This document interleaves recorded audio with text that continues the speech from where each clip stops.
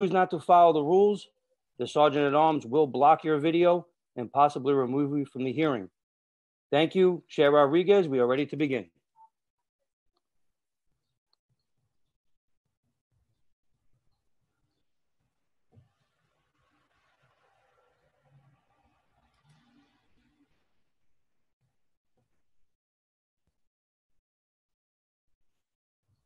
Thank you, Sergeant.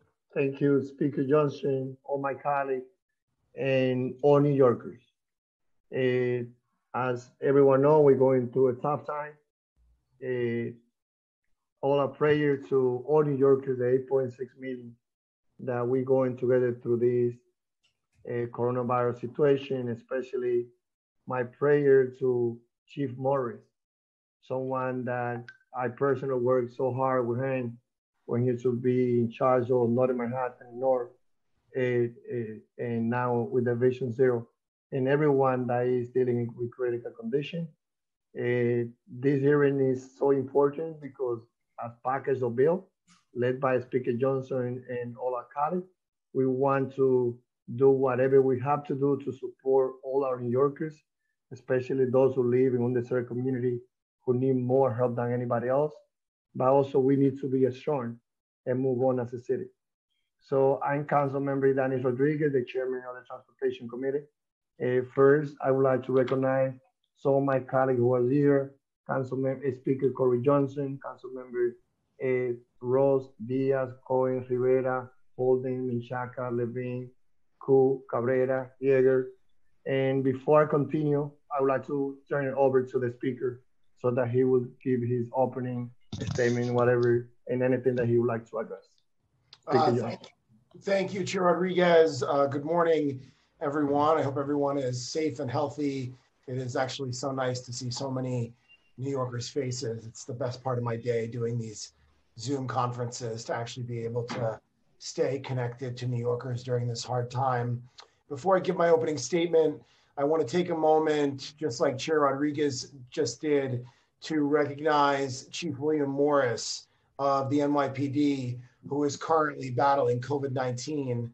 As the department's chief of transportation, his work on Vision Zero has saved lives and made New York a better place. And on behalf of the entire council, our hearts go out to his family and we keep him in our thoughts. I know him from working with him when he was at Manhattan South, and he has been just a, a wonderful person uh, to interact with and to work with over the years. And I'm really devastated to hear um, the difficulty that he is having. And I'm really thinking of him, and I have been the past few days. I also want to thank the NYPD for being here today and for everything they've been doing to keep New York safe. They put their lives on the line every day for New Yorkers, no matter what we face as a city. And we have all felt the impacts of this crisis, but the sacrifices of the NYPD and the cost of the department has been particularly high. We have lost 31 members of the NYPD to COVID 19 related illnesses. Uh, over 4,500 members of the department have tested positive. Uh, nearly 2,900 are back at work, and their dedication is a testament to the commitment of the NYPD to keep New Yorkers safe. I know that we are here under excuse me, under incredibly difficult circumstances. So I want to thank everyone from the administration, the NYPD, and the Department of Transportation for joining us and for their work in keeping the city running.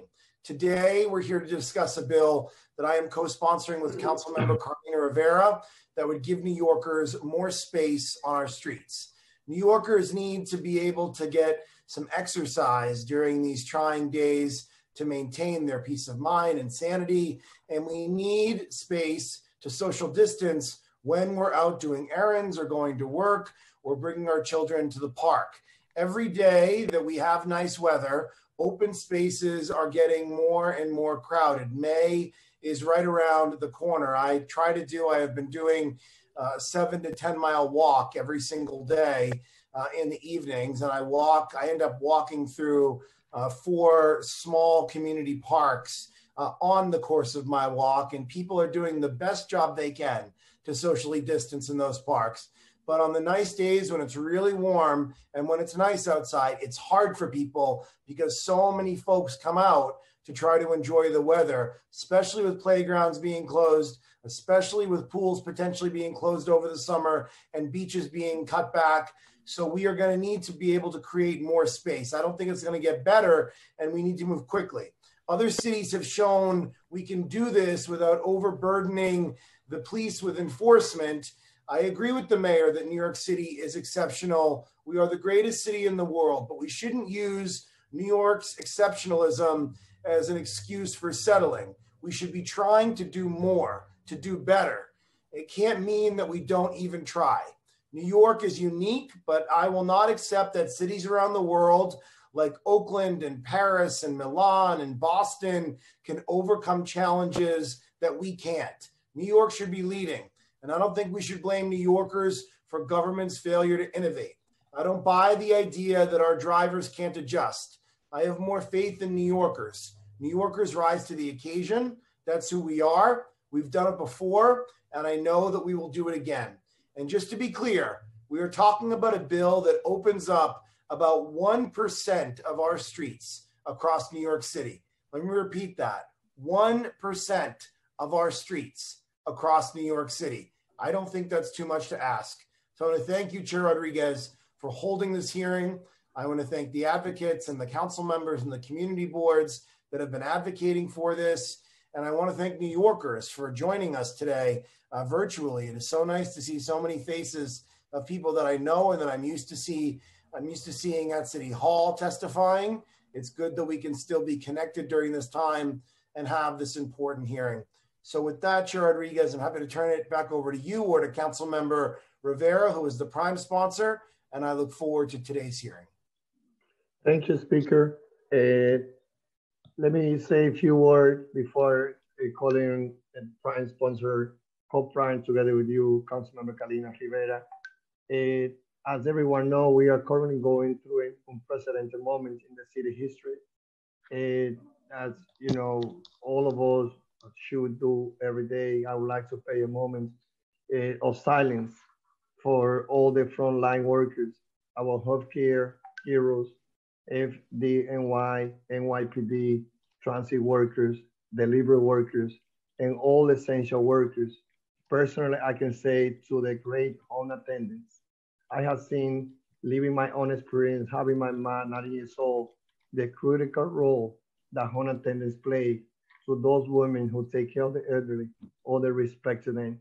So I first would like again to call for a moment of silence to those individuals who are the first responders.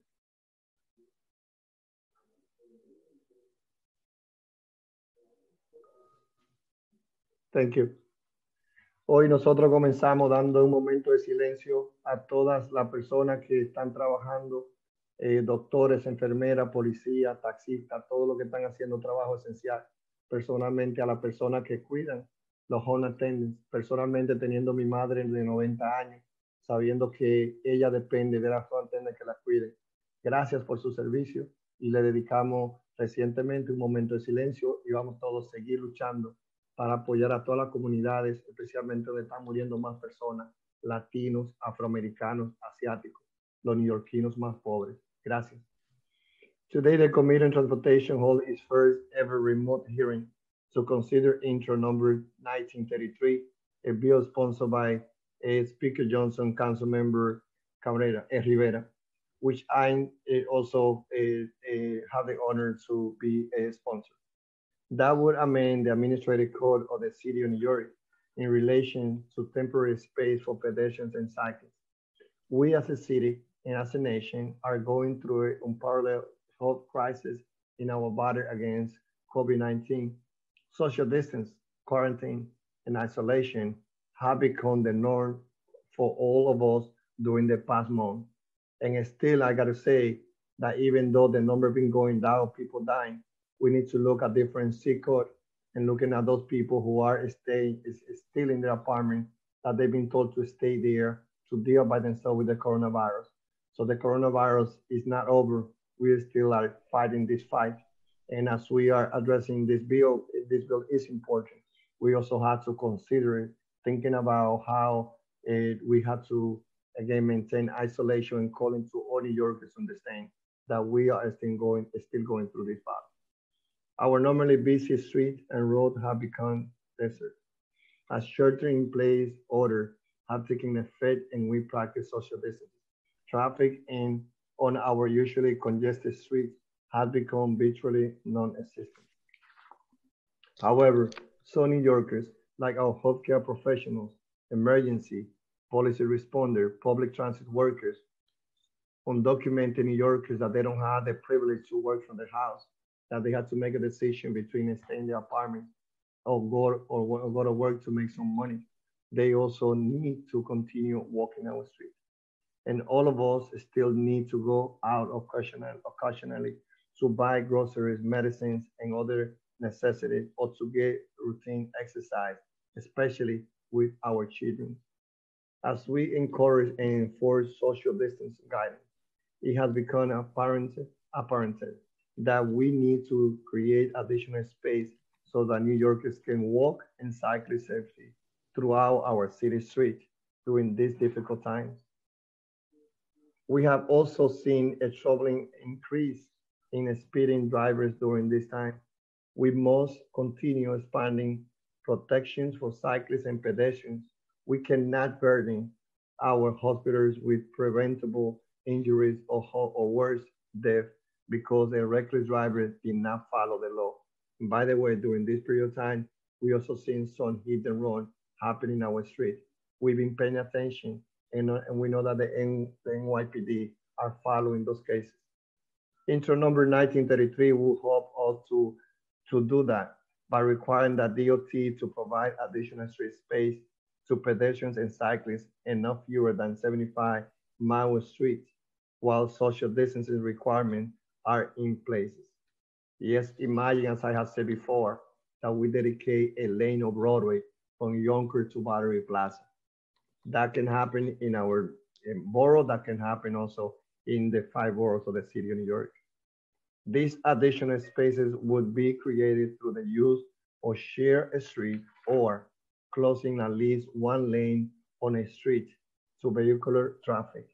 This open street will help the city combat the spread of, the spread of COVID-19 and allow us to practice social distancing while outdoors.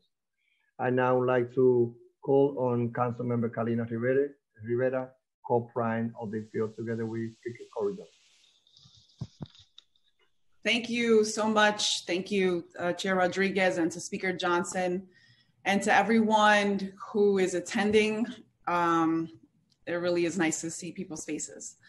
So good morning. I am Council Member Carlina Rivera, and I'd like to thank again Chair Rodriguez and members of the Committee on Transportation for letting me speak briefly at this hearing on my bill, Introduction 1933, which will temporarily require the city to open approximately 75 miles of city streets to pedestrians and cyclists during the COVID-19 pandemic in order to provide New Yorkers with more room for social distancing.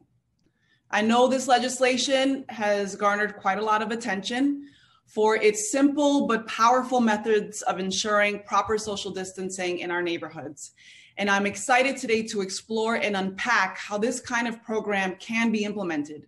But let's be clear, we cannot wait to pass this bill through the council. With congestion in New York significantly reduced by this pandemic, our Open Streets program presents us with the immediate opportunity to address the decades of inequities in zoning, infrastructure, and green space investments that have in part led to certain neighborhoods facing higher rates of COVID-19 than others. A neighborhood filled with mostly detached one and two family homes, backyards, parks, and people working from home doesn't need open streets the same way as a neighborhood where families pack into one bedroom apartments or children are forced to congregate on cramped and cracked blacktops. My bill would quickly redistribute space in these communities to allow for our essential workers to pursue safer commuting options, provide outdoor opportunities for vulnerable New Yorkers, and give families a chance to play beyond the four walls of their home. At the same time, an effective open streets program must be one that is community led from the beginning. Cities from Denver to Oakland have done just that with street locations, enforcement, and monitoring of their programs led by community groups instead of unneeded police officers. Each open street can also look very different. It could be as simple as movable barriers and a local traffic only sign at the end of a neighborhood block, a sidewalk extension with cones in the space where a bus would normally stop, or a temporary transformation of a major avenue into a linear park. And with this initial 75 mile stretch required to be built out in 30 days, we will be able to clearly assess and decide where and how we expand or change this program on the rest of the city's roughly 6,000 miles of streets. Now, I know as a pedestrian, a bike rider, and a park lover, how this program can be effective. But I'm fighting for this legislation first and foremost because as chair of the hospitals committee, I've had far too many calls with doctors infuriated and despondent at the images they've seen of parks crowded with New Yorkers or they're still struggling to save lives. Last week, expert epidemiologists Britta Jewell and Nicholas Jewell presented research showing that if social distancing measures had been implemented on March 2nd, a mere two weeks before federal policies were put into effect on March 16th, an estimated 90% of COVID 19 related deaths could have been prevented nationwide. Implementation, even just one week earlier, on March 9th, would have resulted in a 60% reduction in deaths. We may have begun to flatten the curve, but we must do everything for our heroic healthcare workers to ensure that curve doesn't trend upward once again. We hear a lot from city and state leaders about how imperative it is to practice social distancing, but we don't hear too much in terms of concrete plans to actually achieve this once we leave our homes. And as the weather gets warmer and warmer, the time for a real solution becomes that much more necessary. I hope this bill can be the start of a larger and successful solution for a healthier and safer New York. And I look forward to hopefully working with the de Blasio administration to achieve this effort. Thank you. Thank you, uh, Councilmember Rivera.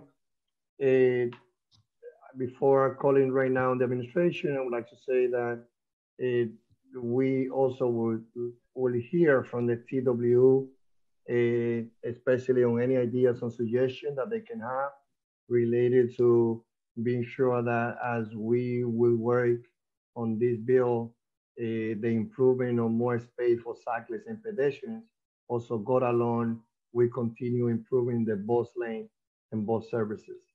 One, the expansion of, of bike lane or, or spaces for cyclists and and, and pedestrians uh, are not against or maintaining our buses. Uh, what we need to do both. So I just want to be sure that again, I share that with the public that I will also be listening to the TW on any ideas and concerns that they can have. Uh, and I want to guarantee all New Yorkers, as we have done it before, we have seen the, our buses as an opportunity to turn buses as a above the ground trains in our city. So we would do both things together. Now, I will now have our moderator and committee council call on the administration to testify and to administer the oath. Thank you, Chair. Um, before I call on the administration, I'm going to go over some procedures for the hearing. Uh, I am Elliot Lynn. I'm counsel to the Transportation Committee at the New York City Council. Um, I want to remind everyone that you will be on mute until you are called on to testify. At that point, you will be unmuted by the host. Um, please listen for your name to be called. I will be periodically announcing who the next panelists will be. During the hearing, if council members would like to ask a question, please use the Zoom raise hand function and the chair will call you in order. We will be limiting council member questions to three minutes Please also note that for ease of this virtual hearing, we will not be allowing a second round of questioning. Thank you. Um, I'll now call on members of the administration. Um, from the Department of Transportation, Commissioner Polly Trottenberg, Deputy Commissioner for Transportation Planning and Management, Eric Beaton, Assistant Commissioner of Intergovernmental and Community Affairs, Rebecca Zack, and from NYPD, Deputy Chief Michael Pilecki, and Assistant Deputy Commissioner Oleg Chernyavsky. I will now read the affirmation and then I will call on each individual to confirm their response to the affirmation on the record. Please raise your right hand.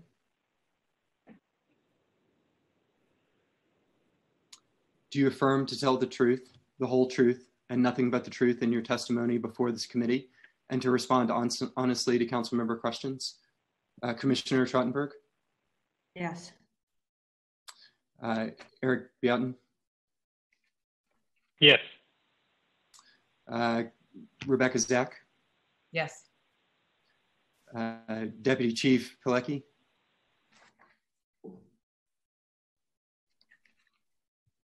Deputy Chief Pilecki?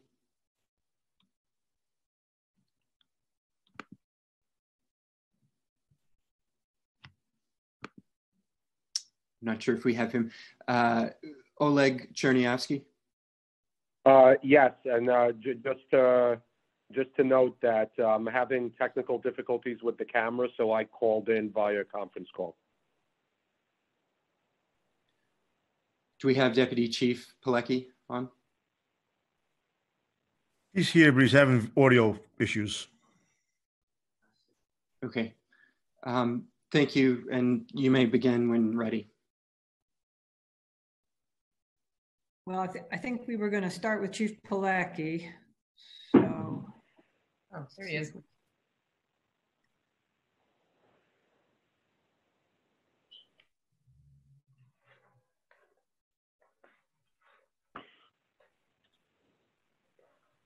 I, if if we can't get the deputy chief on right now, could DOT start first or? Um, sure. Although maybe give it one more second. I think we had okay. orchestrated PD's comments would ours would follow theirs. And maybe if, if the chief isn't on, maybe Oleg can present the PD's testimony.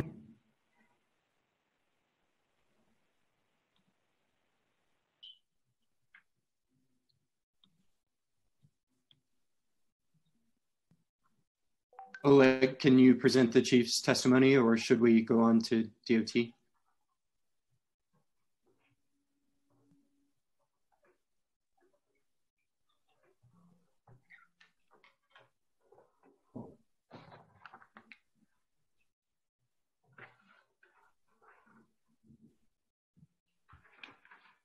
Oleg, are you there? Yes, I'm, I'm here. Sorry. Uh, we're just having an issue. I, my computer's frozen as well, so I'm trying to pull up the testimony to read. Just uh, bear with me one second. Okay. Okay.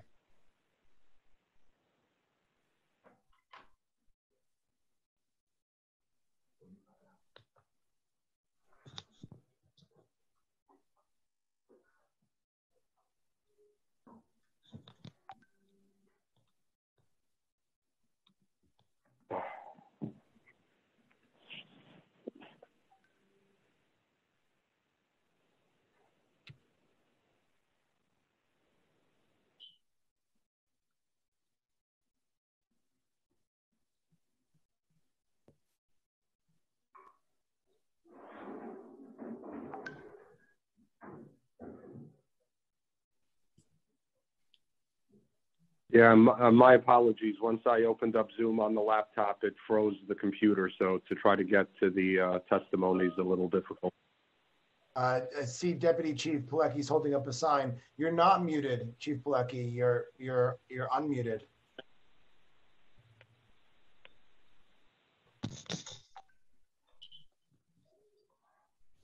If the deputy chief is having trouble with uh, accessing Zoom via the computer, he can also call in via phone.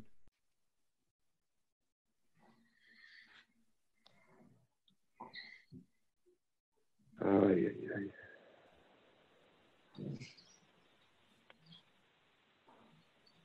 They're asking for the telephone number, Elliot. Okay.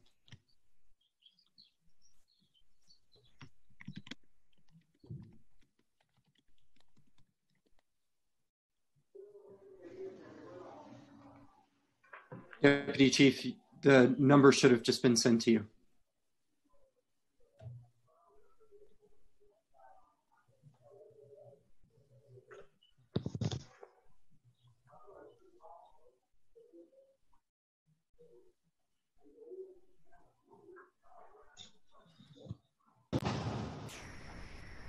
Can you hear us now? Can you hear us now? Yes, we can. I do. Yes, we can. Okay, very sorry about that. We had to bring in a tech uh, fellow to straighten things out. Okay, Would you like me to begin? Yes, please. All right. Good morning, Chairman Rodriguez and Council Speaker Johnson. I'd like to first thank you both for your kind and thoughtful words about Chief Morris. Uh, Members of the council, I am Deputy Chief Michael Pilecki. I'm the Operations Chief of the Transportation Bureau within the New York City Police Department. In addition to my colleagues from the Department of Transportation, I'm joined today by Assistant Deputy Commissioner Oleg Chernyavsky. On behalf of the Police Commissioner Dermot Shea, I would like to thank the council for the opportunity to comment on Intro 1933 of 2020, which would mandate the closure or narrowing of 75 miles of city streets.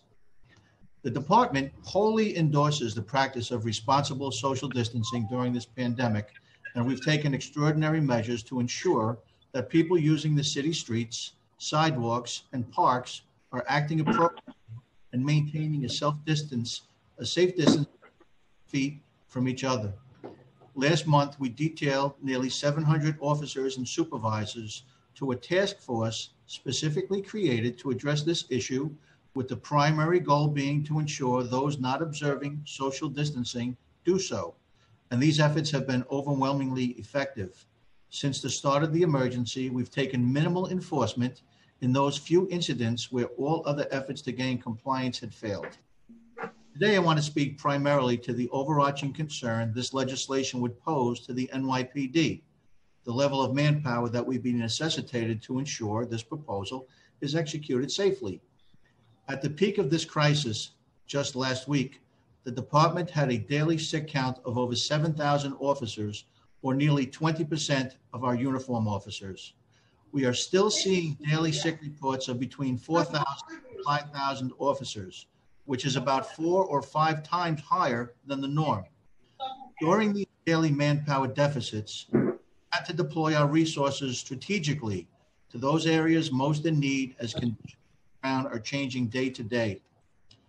Given these realities, deploying officers or agents to police an area that is roughly the equivalent of three full New York City marathon spans would not be possible.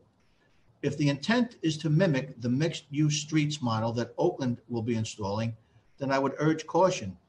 This is a situation that has potential to severely impact public safety, as pedestrians may be lulled into a false sense of safety and, comp- and, and um, comp- um, complacency by streets that appear to be closed to traffic but are in fact not.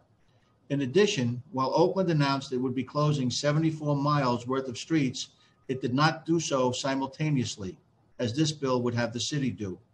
To date, nearly two weeks after it was first announced, roughly nine miles worth of roadway has been closed with limited information on its success. Even if we establish these areas without a fixed police presence, I feel compelled to mention that police officers will nevertheless be summoned to respond if 311 complaints are made that individuals are either not distancing or wearing face coverings. This is currently the case in public parks and essential businesses that have remained open throughout this national emergency.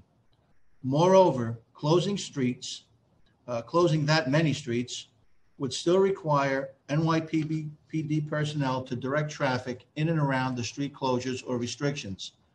Likewise, of concern would be the permitting of pedestrians to walk in and shared roadways with motor vehicles and bicycles, whom will all have the simultaneous right of way. The risk posed by such a model to pedestrians and bicyclists alike appear to be significant, especially in the absence of police presence. Regardless of what some may see as a success in Oakland, there is no one size fits all solution. We would not be able to deploy unmonitored barricades on the scale envisioned by this legislation, which will inevitably be moved and not replaced. Closing or restricting 75 miles of city streets is not the equivalent of a one day block party. This proposal appears to be a citywide measure with no particular end date and affecting nearly all areas of the city. Creating the model envisioned by the legislation without an adequate level of police presence is not workable, and creating it with a police presence is not operationally realistic in today's climate. To ensure the safety of those who use our streets and to facilitate the flow of emergency vehicles, the department would need to post an officer or traffic agent at every impacted intersection to enforce the restrictions and to move barriers when needed. In some ways, it's a catch 22. If we use movable barriers, there must be personnel present to ensure motorist compliance and to move those barriers for emergency vehicles and deliveries. If we use immovable concrete barriers, emergency vehicles, deliveries, and residents on those streets will be indefinitely rerouted, and we must have personnel present to direct this traffic. Not to mention the valuable minutes ambulances, fire trucks, and police vehicles will spend taking alternate routes to respond to emergencies. If an immovable barrier is installed, which leaves enough space for that emergency vehicle to pass, we are back to square one and must place an officer or a traffic agent at that location to enforce the restriction. This is, of course, a complicated issue, and we should work together to come up with creative ways to provide individuals with functional public spaces they can use while maintaining safe distances. The department stands ready to work with the council and our sister agencies to ensure New Yorkers are afforded such spaces in a manner that does not require a significant investment of police resources or that would create situations that will require enforcement of emergency health and safety orders currently in place. I thank you for the opportunity to speak about this critical issue, and we look forward to answering any questions that you may have.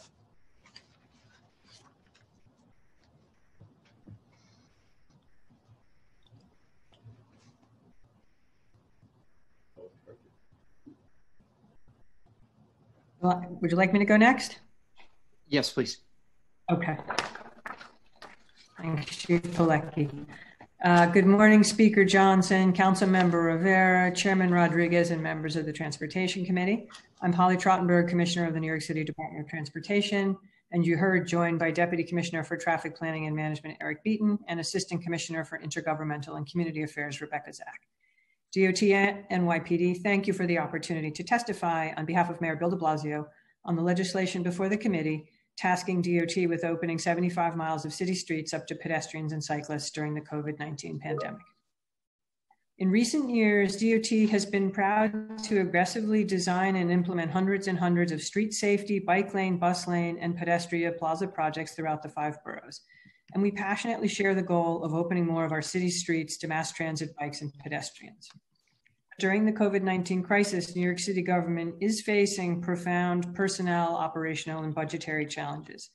We've taken a hit like almost no other city in the world, and we're still grappling with the virus every day. We want to work closely with the council to find common ground on our shared goal of making many more miles of our streets and sidewalks safer and more available for New Yorkers seeking open space but we ask the council recognize the many challenges and competing demands all of us in city government, especially the NYPD, are facing. As we all know, we are the epicenter of this global pandemic, and both NYPD and DOT, like many of our sister agencies, have felt the impact of the virus directly, with many employees infected, out sick, and some lost forever. And, and we certainly join with, with everyone here today, and our thoughts and prayers are with Chief Morris and, and with some of our own employees who, who are also hospitalized and gravely ill. Uh, you know, we've mourned the loss of colleagues and, and our hearts go out to, to all New Yorkers who've lost loved ones. And the crisis has certainly dramatically changed city streets. Street activity has plunged, which has led to one bit of good news. We've had the longest period without a pedestrian fatalities, I think 40 or 41 days, since we began tracking by mode in 1983. But unfortunately, in our much emptier streets, some drivers are speeding recklessly, and we can never let up on our vigilance.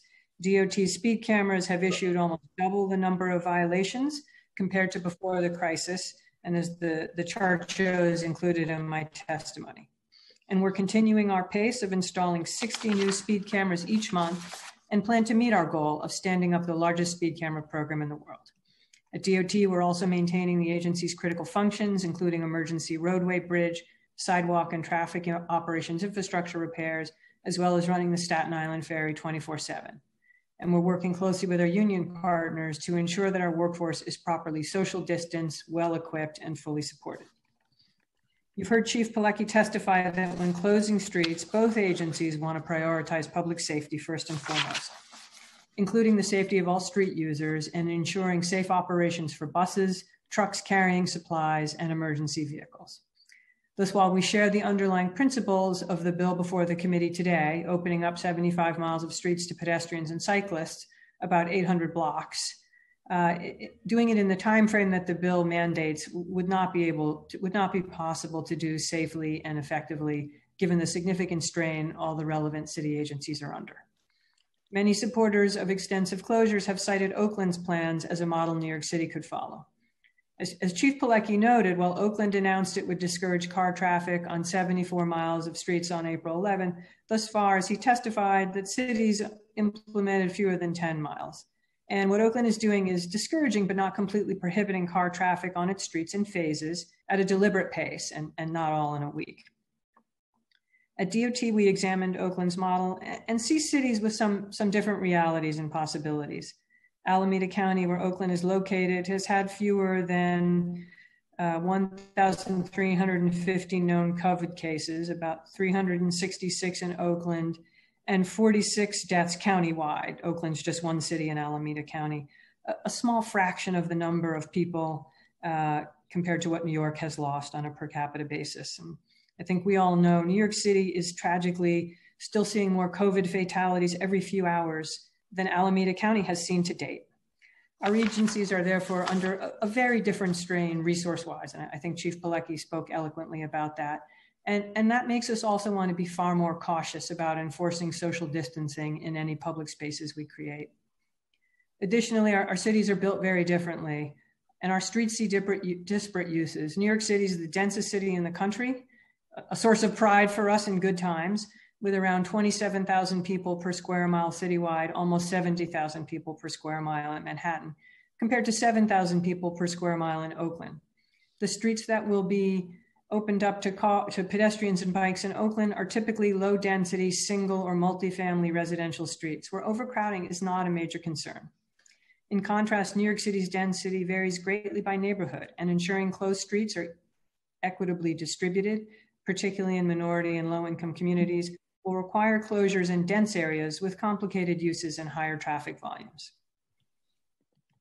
We think there are some challenges to the Oakland model, but we do want to work with the council to find ways, given the city's current resource constraints, to create more miles of open space for pedestrians and cyclists, while not causing crowding that requires additional NYPD enforcement or significant disruptions to emergency vehicles, trucks carrying supplies, or mass transit. We are currently evaluating multiple strategies to meet this need and hope in the coming days we can find common ground with you and other key stakeholders with whom DOT has also been talking.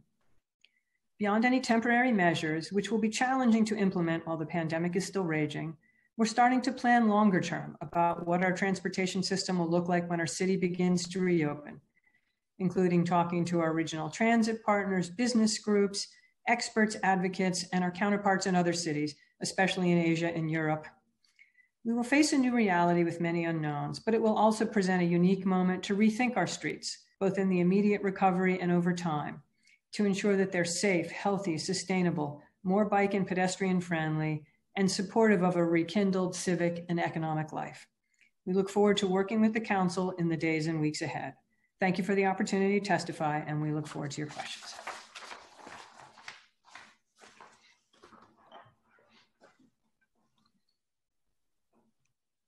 Thank you. Uh, Speaker Johnson or Chair Rodriguez? Yes. Hold on one moment. Okay.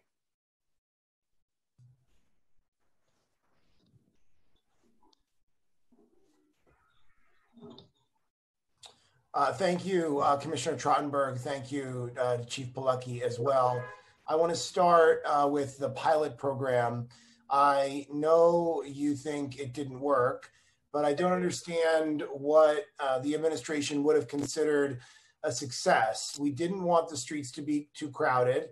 That would defeat the point. So, what were the metrics that were being looked at? What would a successful pilot have looked like?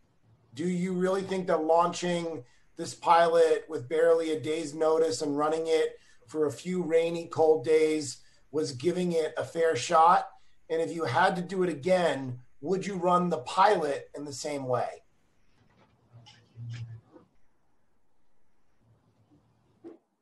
Either uh, the deputy chief or the commissioner can answer that.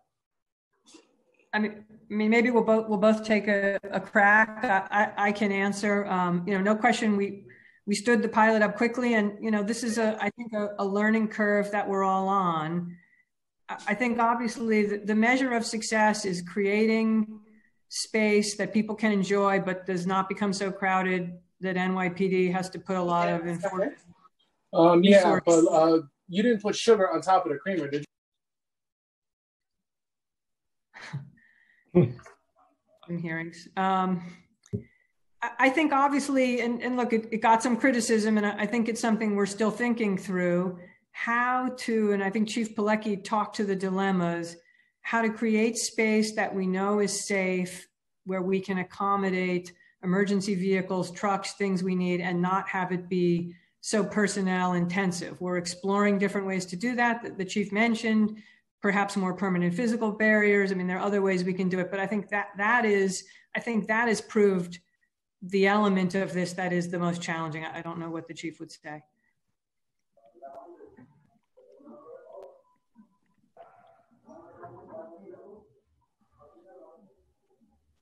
Chief Pilecki, you're uh, tough sign. Can you hear me? Go. Now we can hear you. Okay.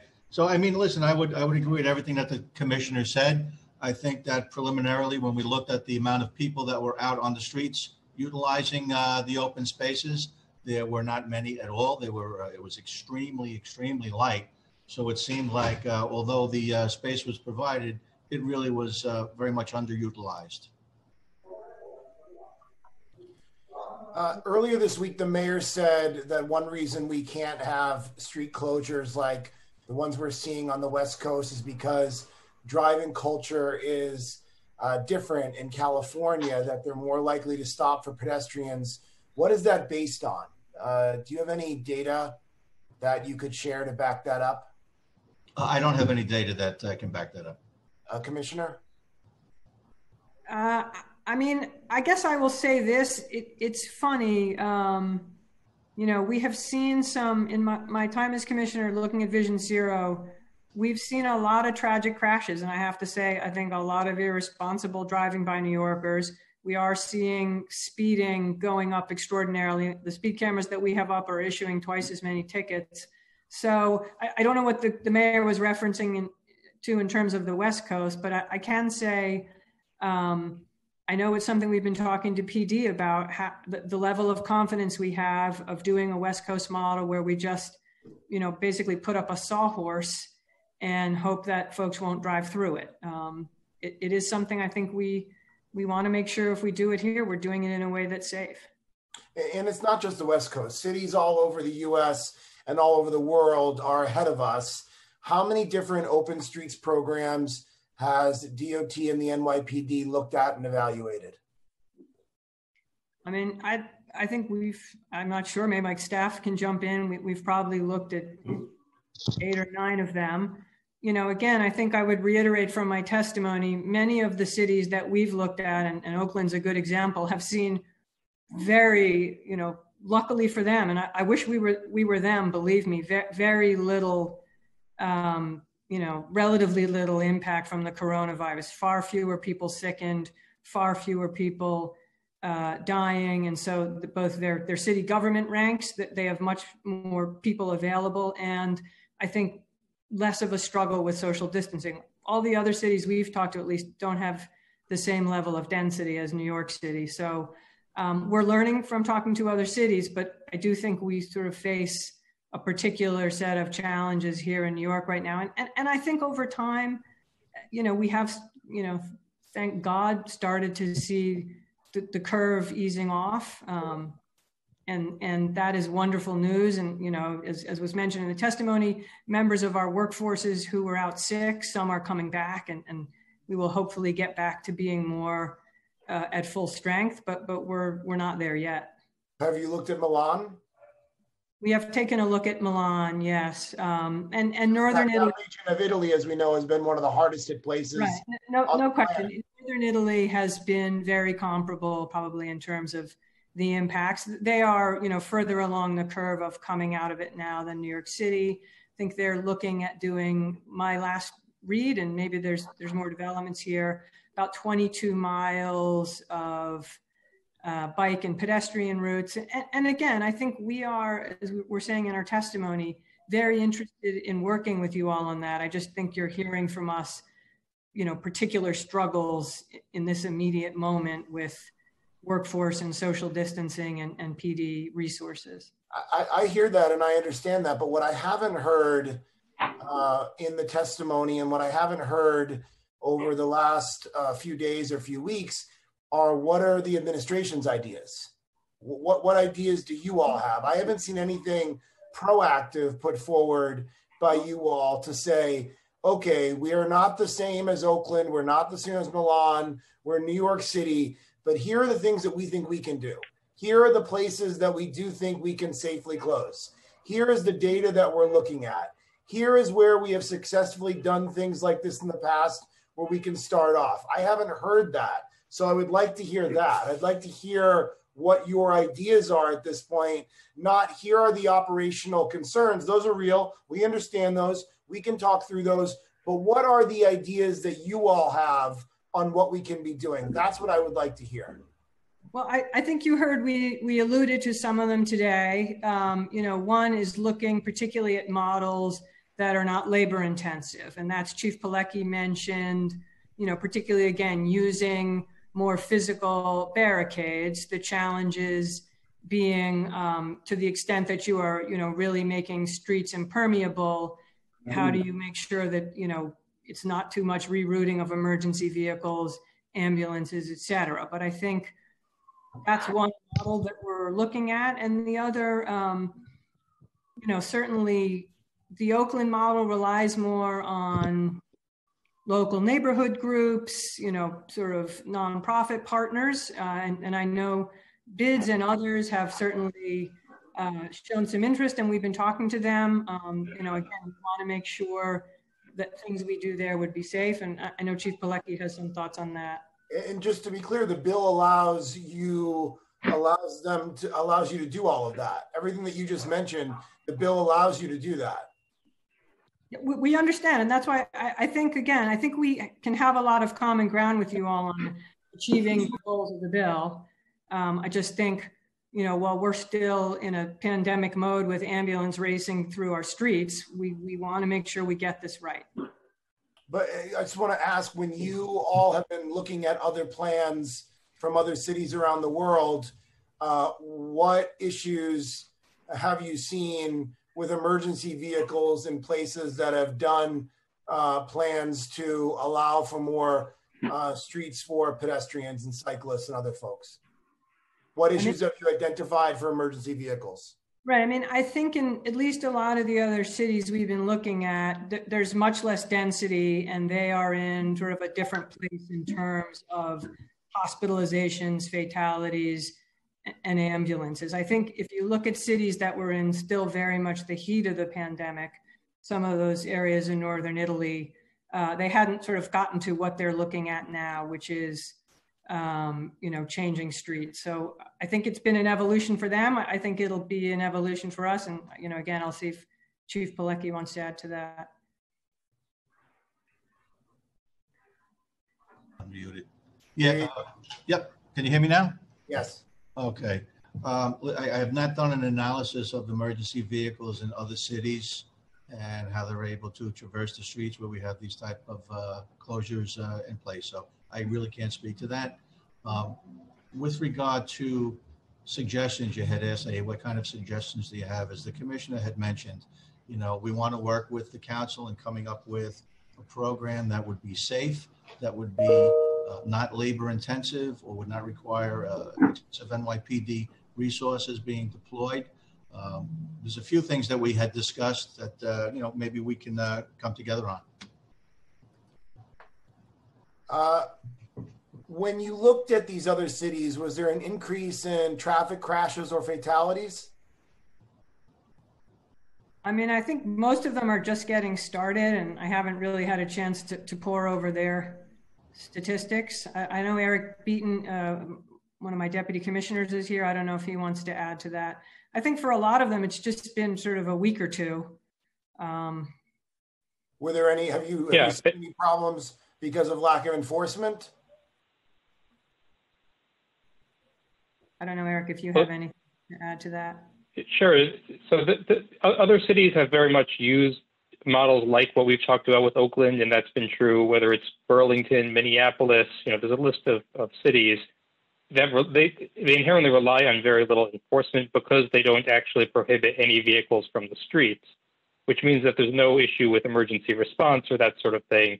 But it also means that there's potential conflicts on the streets and they very much use single family, low density, extremely low density areas of those cities. So when we look at New York, just the even in our uh, on pause state, the number of trucks, the number of emergency vehicles, the number of even private cars of people going places is substantially higher. And so we're trying to learn what we can from those cities. And we've absolutely been talking to them and seeing what works and what doesn't in a very short amount of time. But the land use is really pretty different and having our streets, you know, imagine a, a Manhattan or an inner Brooklyn or Queens street, you know, there's just a lot more activity going on that we want to make sure is either accommodated or not in some safe way. Are we, are we letting the perfect become the enemy of the good? I mean, how, how do you, you, you know, it sounds like you're setting a bar that is so high that it's, that it's impossible to actually clear. It's just hard for me to understand when you step back and you talk about this issue more generally, you know, for a minute that there are, this is happening in other big cities, as you said, other dense cities, maybe not as dense as here, other cities that have a lot of drivers, other cities that rely on deliveries, other cities that need emergency vehicles to get around. Do you all believe that New York City is so different from all those other cities that we can't apply any of those lessons here? I, I don't believe that, but I, I do believe at the moment we're, we're different from at least every city in the United States and mostly around the world in the severity of what we're experiencing with the coronavirus. Um, in, in that regard, I, I think we are a tragic outlier. The, the level of, of infection and, and fatalities and needs for medical supplies is, I- think, in that regard, we're pretty different. I, I hope over time we all pray that will change and, and we want to find ways to, you know, accommodate it in our city streets as it does. But um, I think that is in talking to a couple of my fellow DOT commissioners, that's a very different reality we have here in New York City, unfortunately. So if you step back for a moment and you uh, just think generally about the city, it's not, you know, and about this issue, it's not just about getting more space for people to exercise, to get fresh air. Uh, it is, uh, this is also about recreation. A lot of New Yorkers still need to go out and shop for food, to do laundry, for essential workers to get to work, and they need to be able to do that safely. Uh, do you know what percentage of the sidewalks in New York City are at least six feet wide? Um, we, I was trying to get an answer to that uh, question before the hearing. I, I don't know if we dug it out, but I, I mean, I'm going to say there's probably a very good percentage of sidewalks in New York City that if you count trees and street furniture and other things, you're not going to have a perfectly, you're not going to have an ability to perfectly clear six feet between two folks. And, and, and I, you know, what I've seen New Yorkers being adaptable and stepping out of each other's ways and crossing the street and, and look, we, we know as the weather gets warmer, this is, this is going to be a bigger challenge, but I think most old cities have large proportions of sidewalks that are pretty narrow. It's definitely a, a challenge we're all going to face. Um, just a couple more questions. Uh, I actually think that we've been lucky when it comes to weather. We've only had a handful of warm, sunny days this spring, but we are heading into May. And if we're still in the situation when uh, uh, when we get to May or get to June, uh, you're going to have a lot of kids with a lot more free time once the official school year ends. We've closed play- playgrounds. It looks like pools and beaches may not be available in the way that they have been in the past this summer. What's our plan to make sure New Yorkers have some options other than a park? Are you all working with the Parks Department and with City Hall on potential contingency plans to allow for more space for New Yorkers? I mean, I, I know that that is that, that the, the, exact issues you're raising, Mr. Speaker, are, are certainly under discussion uh, at City Hall with all the relevant agencies. And, and I think you know the mayor made none of those decisions lightly about closing playgrounds and other things. He is, as a as a parent, very sympathetic to the the needs of kids to get out and get exercise. And we know the warmer weather is coming, so there is, I think, a lot of thinking and planning uh, going on and how we're gonna how we're gonna address that. Okay. Um, well, I, I look forward to hearing your ideas. I mean, I haven't heard a plan from you all. We've been talking about this for weeks. And I would have thought that you all would have come in today and said, we've identified X number of streets that cover X number of miles where we think that we can actually do this. And uh, I hope that that's what will happen in the coming days. So I want to thank you, uh, Mr. Chairman. I turn it back to you and the committee council. I thank you, Commissioner Trottenberg and Deputy Chief Pilecki, and I look forward to hearing from the other members and the members of the public today. Thank you very much. Thank you, Mr. Speaker.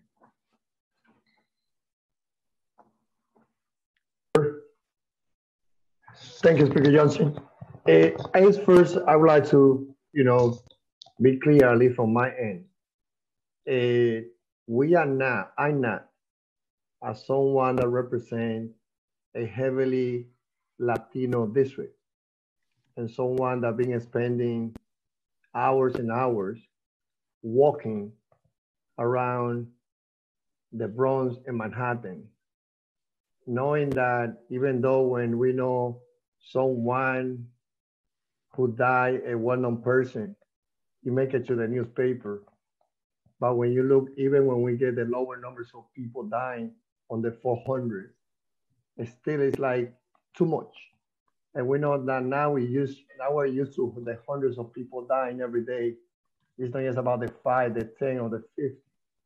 So those individuals who are now well known, and we don't want anyone from the 8.6 million people to die. I'm also think they are the poorest one. They are the one, as you know, close to 40% they're Latino. Then Afro Americans, they're Asian. And poor individual beside the few who we don't want either to die. So by no means, in my case, I'm looking at reopening the city of New York in these days. I think that if the numbers of people dying still right now and hundreds of thousands of people, Speaker Johnson, that we have no track on people that deal with the coronavirus. Like the city of New York, the state of New York, we don't have the number of how many people call 311 and they say we have a symptom of the coronavirus and they've been they've been told stay in your apartment and as I said before, it's not an apartment of someone that working hard being able to get a large apartment. It's someone, as I shared the story of 11 people who live in Nago with 10 people who live together in apartments in the Bronx, in the same number that you will see, especially in the poorest neighborhood. So when I, again, believe on closing or opening the street to pedestrians and cyclists, first of all, the pilot project that we did, I think that we put ourselves to fail. I think that to look at, yes, closing few blocks at Grand Concourse, few blocks at Manhattan, it was not ambition to say, let's close a whole street. Let's identify area close to the park. Yes, we did in Central Park, I mean, on Park Avenue, it was not the same Grand Concourse in other areas. So I think again, first, definitely I support this bill co-prime by Speaker Johnson, Councilmember Cabrera, and other my colleagues, because I think that we need to have this conversation. But I want to be clear that even though some people will be talking about we need to start looking at reopening the streets, don't bring that conversation to the poorest neighborhood. Don't go to the South Bronx or Washington Heights or Queens, Brooklyn, Staten Island, where there's hundreds of thousands of people that they call living together in an apartment, dealing with the coronavirus. And when you check at a hospital, any hospital, you ask, how many people call to 311? And you already track those people as someone that they had the coronavirus. No one have put that information to together. So, and even though, again, as we heard the Bloomberg, we've been leading that team to track. I said from day one, please sit in the front table, the leaders and the faces of the Latinos and the Black and the Asian community who are the one dying. So in this plan, in this bill, as we're discussing idea to reopen the street, I call the non-Black and Latino brothers and sisters, you know, the, the, the, the stakeholder to please, let's look at the top priority area that we have as the transportation desert. Communities that we have that they don't have access to buy expensive bike or to pay for the Citi Bike. And let's not look about the NYCHA program across the board. Look, stop at some place at some point at the corner in Manhattan, in Brooklyn. Look at the faces of the cyclists. Count how many are black and Latino. We have many of them delivering food, but when it comes to getting to the bike, working, using the bike as a mode of transportation, I like I will be working with my colleagues to be sure that in this plan of opening the 75 miles, that we look first at those communities that in this time of coronavirus, most people who are dying, who are getting the coronavirus, first they're dealing with asthma and obesity. So, question to you, Commissioner Sean Breeze, as someone that also know very well, as I have said before, not only the city, but our country. And with a bailout that will provide opportunity, our largest hospital, they will not be doing so bad. Many of them, they will be getting 100,000 of 100 millions of dollars, even close to $1 billion larger hospital will get. And I think that this plan also has to be seen from the perspective of health. So as we know that there's going to be some cost involved, do you see, and as both of you, the chief and, and the commissioner have been saying that you open to work with the speaker, to work with all, with council member Cabrera and the whole council to continue this conversation with this bill do you see an opportunity to bring the hospital to the table? So as I know, Columbia Presbyterian, they will get close to $1 billion. That's the expectation in this bailout plan.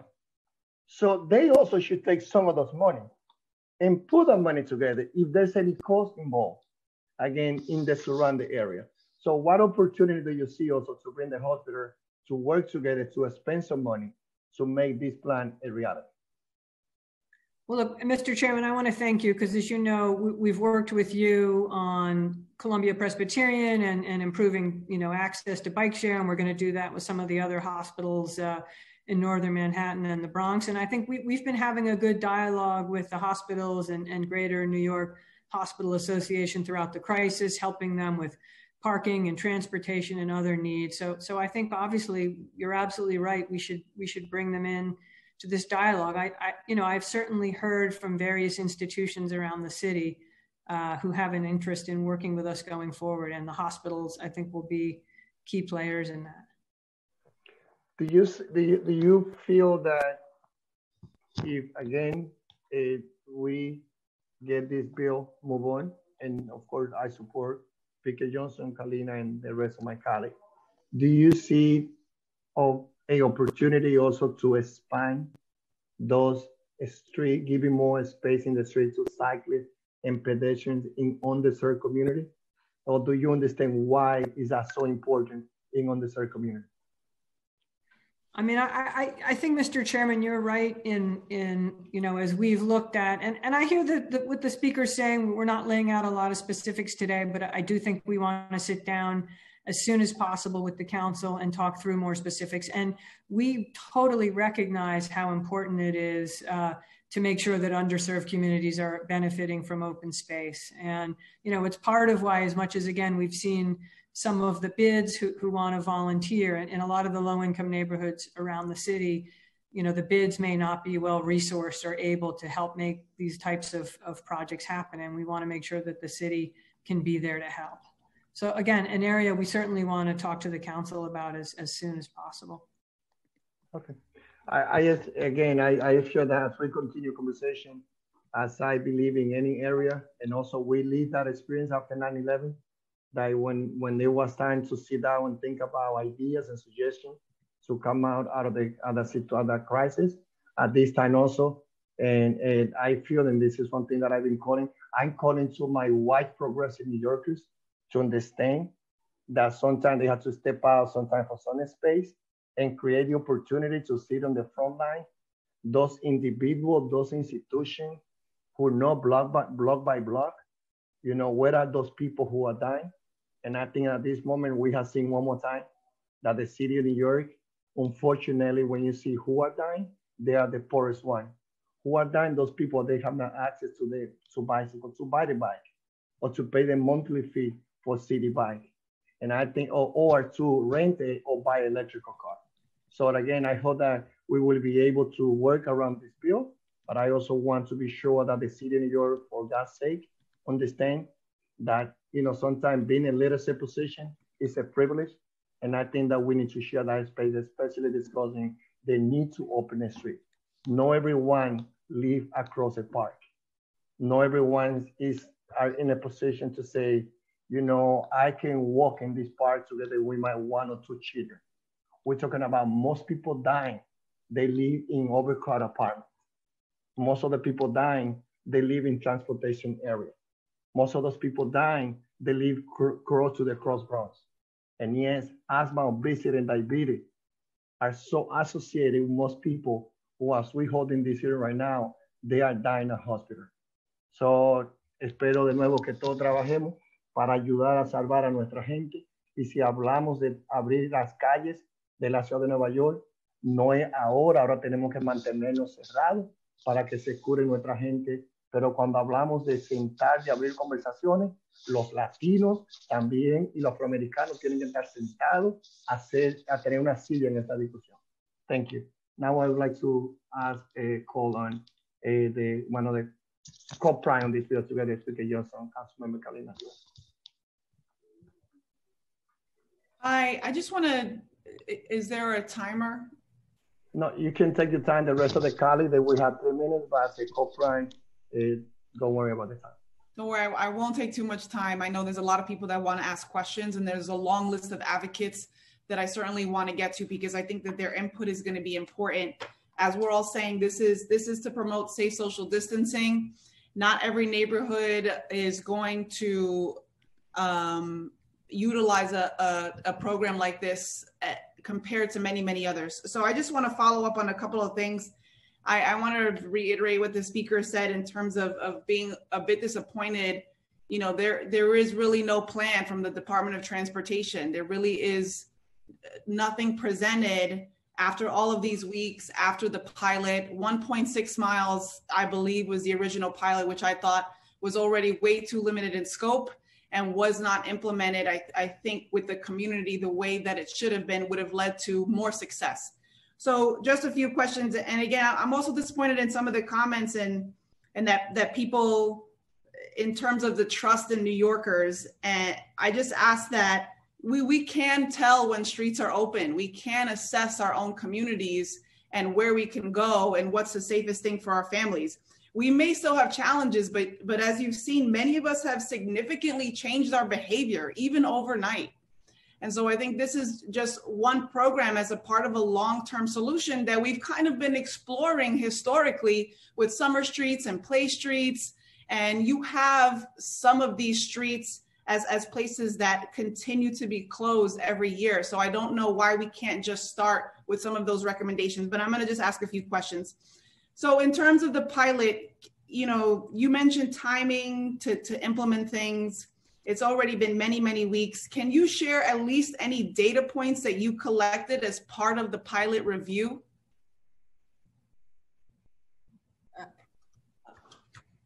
I'm sorry, I'm not sure I, un- you mean the, the, the four sites we tested? Is there anything that you learned that you are perhaps applying to a program that you seem to want to collaborate with us on, but has yet to be unveiled? I mean, I think I'll turn to the chief. I mean, I think the, the, the challenge we had was how to do it in a way that was not so PD intensive. And I, I, am not sure we obviously found quite the right formula. I don't know, chief, if you want to. I absolutely agree with that. I mean, we want to sit down with the council. We want to come to a consensus on a plan. That is not labor intensive to the NYPD.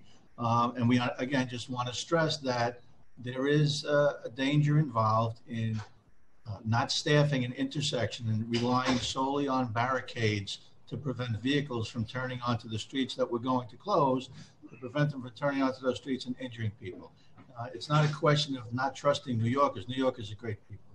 But we know that there could be a small percentage of people who, for whatever reason, might want to get onto that block and move the barrier and drive onto the street and maybe not put the barrier back, which would invite other cars to turn onto the street as well, and it would present a danger to people. I can't tell you how many times or details that I've worked where we've had police tape up, uh, interior of crime scenes uh, tape up, and it's clear as day, wrapped around perhaps a tree, maybe taking out half a block, and people will walk up and see that tape, they'll lift it up and just walk right through. So there are people who will disregard barriers, there are people who will disregard signs, and our concern is just, again, that it, it just poses a safety risk to the people who are going to be utilizing these streets. I just ask that we not categorize the public for a few of the bad actors. You do have movable barriers. You have used uh, similar measures are often used for construction projects with fairly limited enforcement or oversight needed in, the, in those cases. So I think we can implement something similar. But if the question is is staffing, if staffing is a concern, how far does the curve need to be lowered for work to begin on this? Milan and Northern Italy have has seen a few weeks has been a few weeks ahead of us. So this is something you can do in a few weeks. I know you mentioned seven days as being a concern. And I just want to note on, on, on the density, Milan, which is implementing a similar program, as was mentioned by the speaker, is so dense, it would be the second densest in the nation. So how much time would you need to be able to do something like this? And if you've noticed in the bill, there is also a reporting structure so that we can review this and figure out whether one, it's working, which I think it will be successful because we want to use community groups. And two, maybe there are certain areas where it could be more of a long-term solution.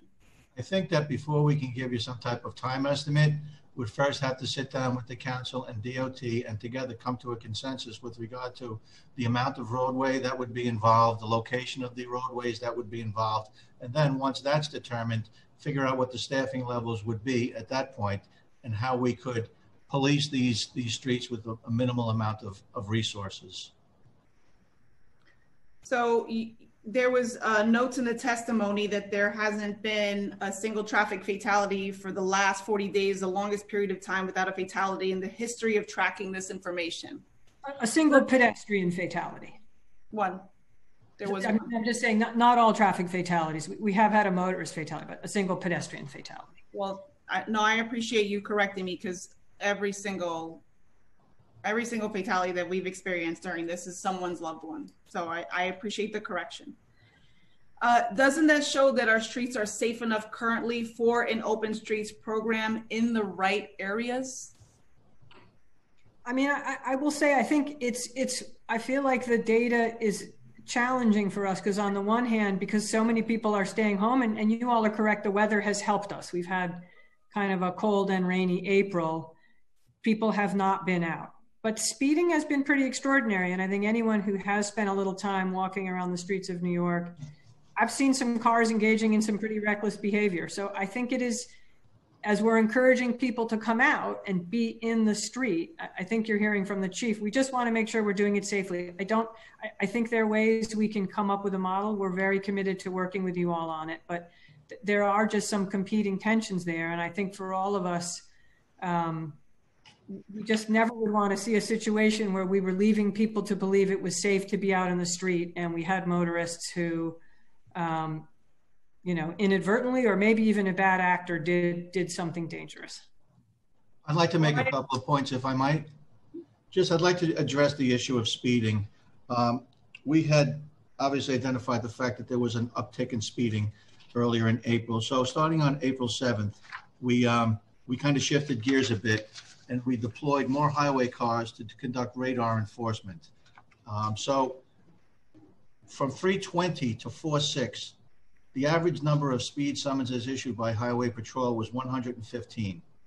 After we stepped up our increased enforcement from 47 to 419, the average number of speed summonses issued by Highway Patrol went up to 222 a day. So it's over 100 speed violation summonses being issued on our highways since we stepped up our uh, increased enforcement. In addition to that on the highways, we deployed additional cars from our citywide traffic task force. These are the cars that don't ordinarily patrol on the highways, but patrol instead on the local streets. We deployed them to the highways throughout the city, and we have them patrolling in the left-hand lane of the highways with their turret lights on to physically slow down cars on the highways. To, and, and we found that cars are extremely reluctant to pass these cars for fear of getting a summons. So that seems to be working out very well. We have an increase in speed summonses that are being issued. We have more highway officers coming back to work from sick. We had a high of 50 uh, highway patrol officers out at one point. We're down to about 20 now, so we're getting more resources out there in the field.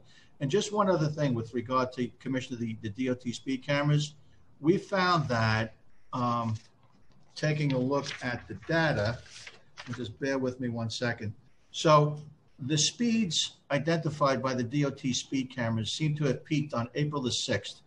There was 200, I'm sorry, 2.03 million cars passed the, cam- the cameras on that day, with 31,911 or 1.59% of the vehicles exceeding the limit.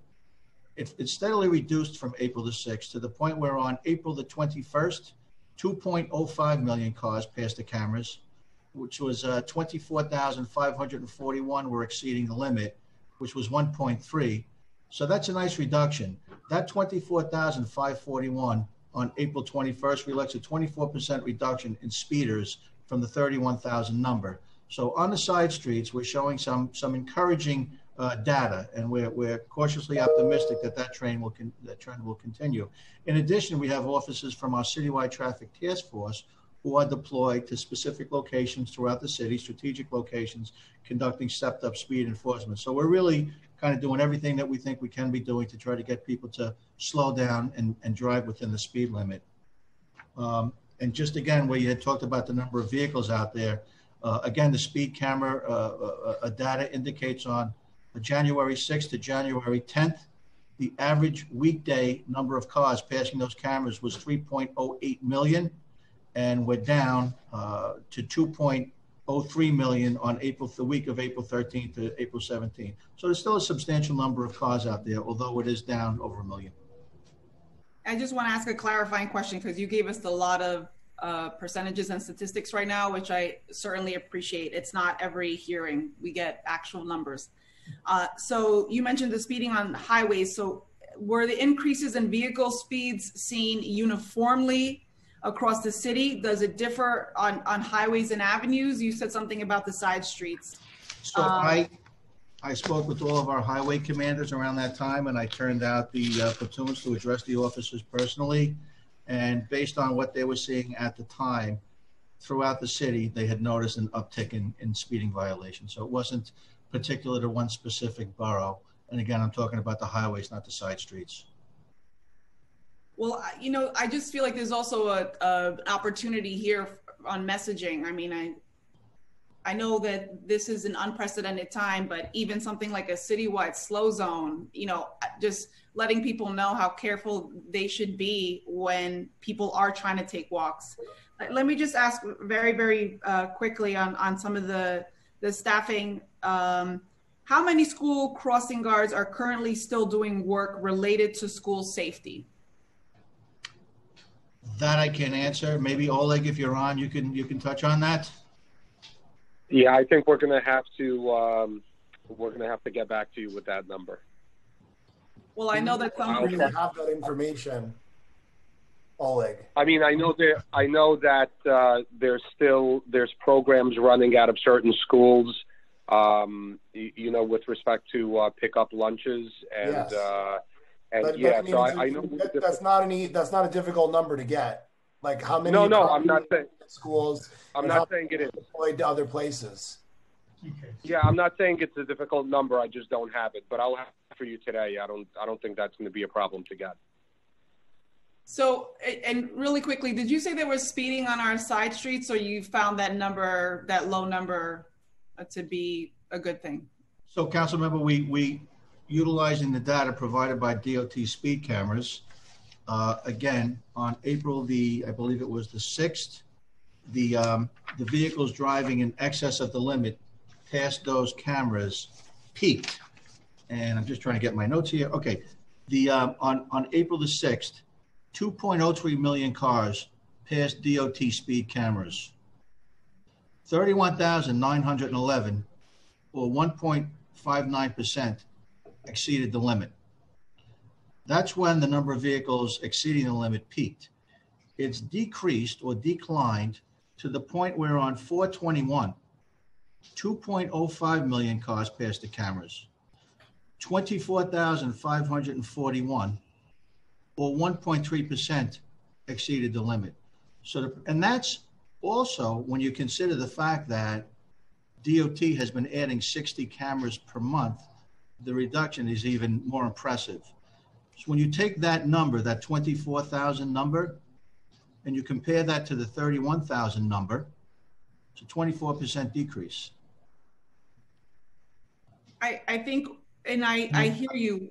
But the What- point I guess I'm trying to make, and I don't mean to interrupt you, and I apologize for that, is that we're trending in the right direction.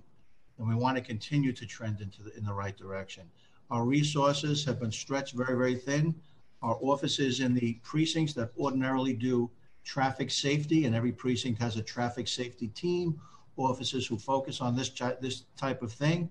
Uh, Because of the reduction in staffing levels, they haven't been able to give the focus that they ordinarily would give because they're doing, they're responding to radio calls, uh, et cetera. So we see this as a positive indicator that things are trending in the right direction. I guess that's the point I was trying to make. I understand. I, I just don't think we really have the data on what kind of streets those cameras are located on, unless you can help us out. I, I with a map, an easy to read map.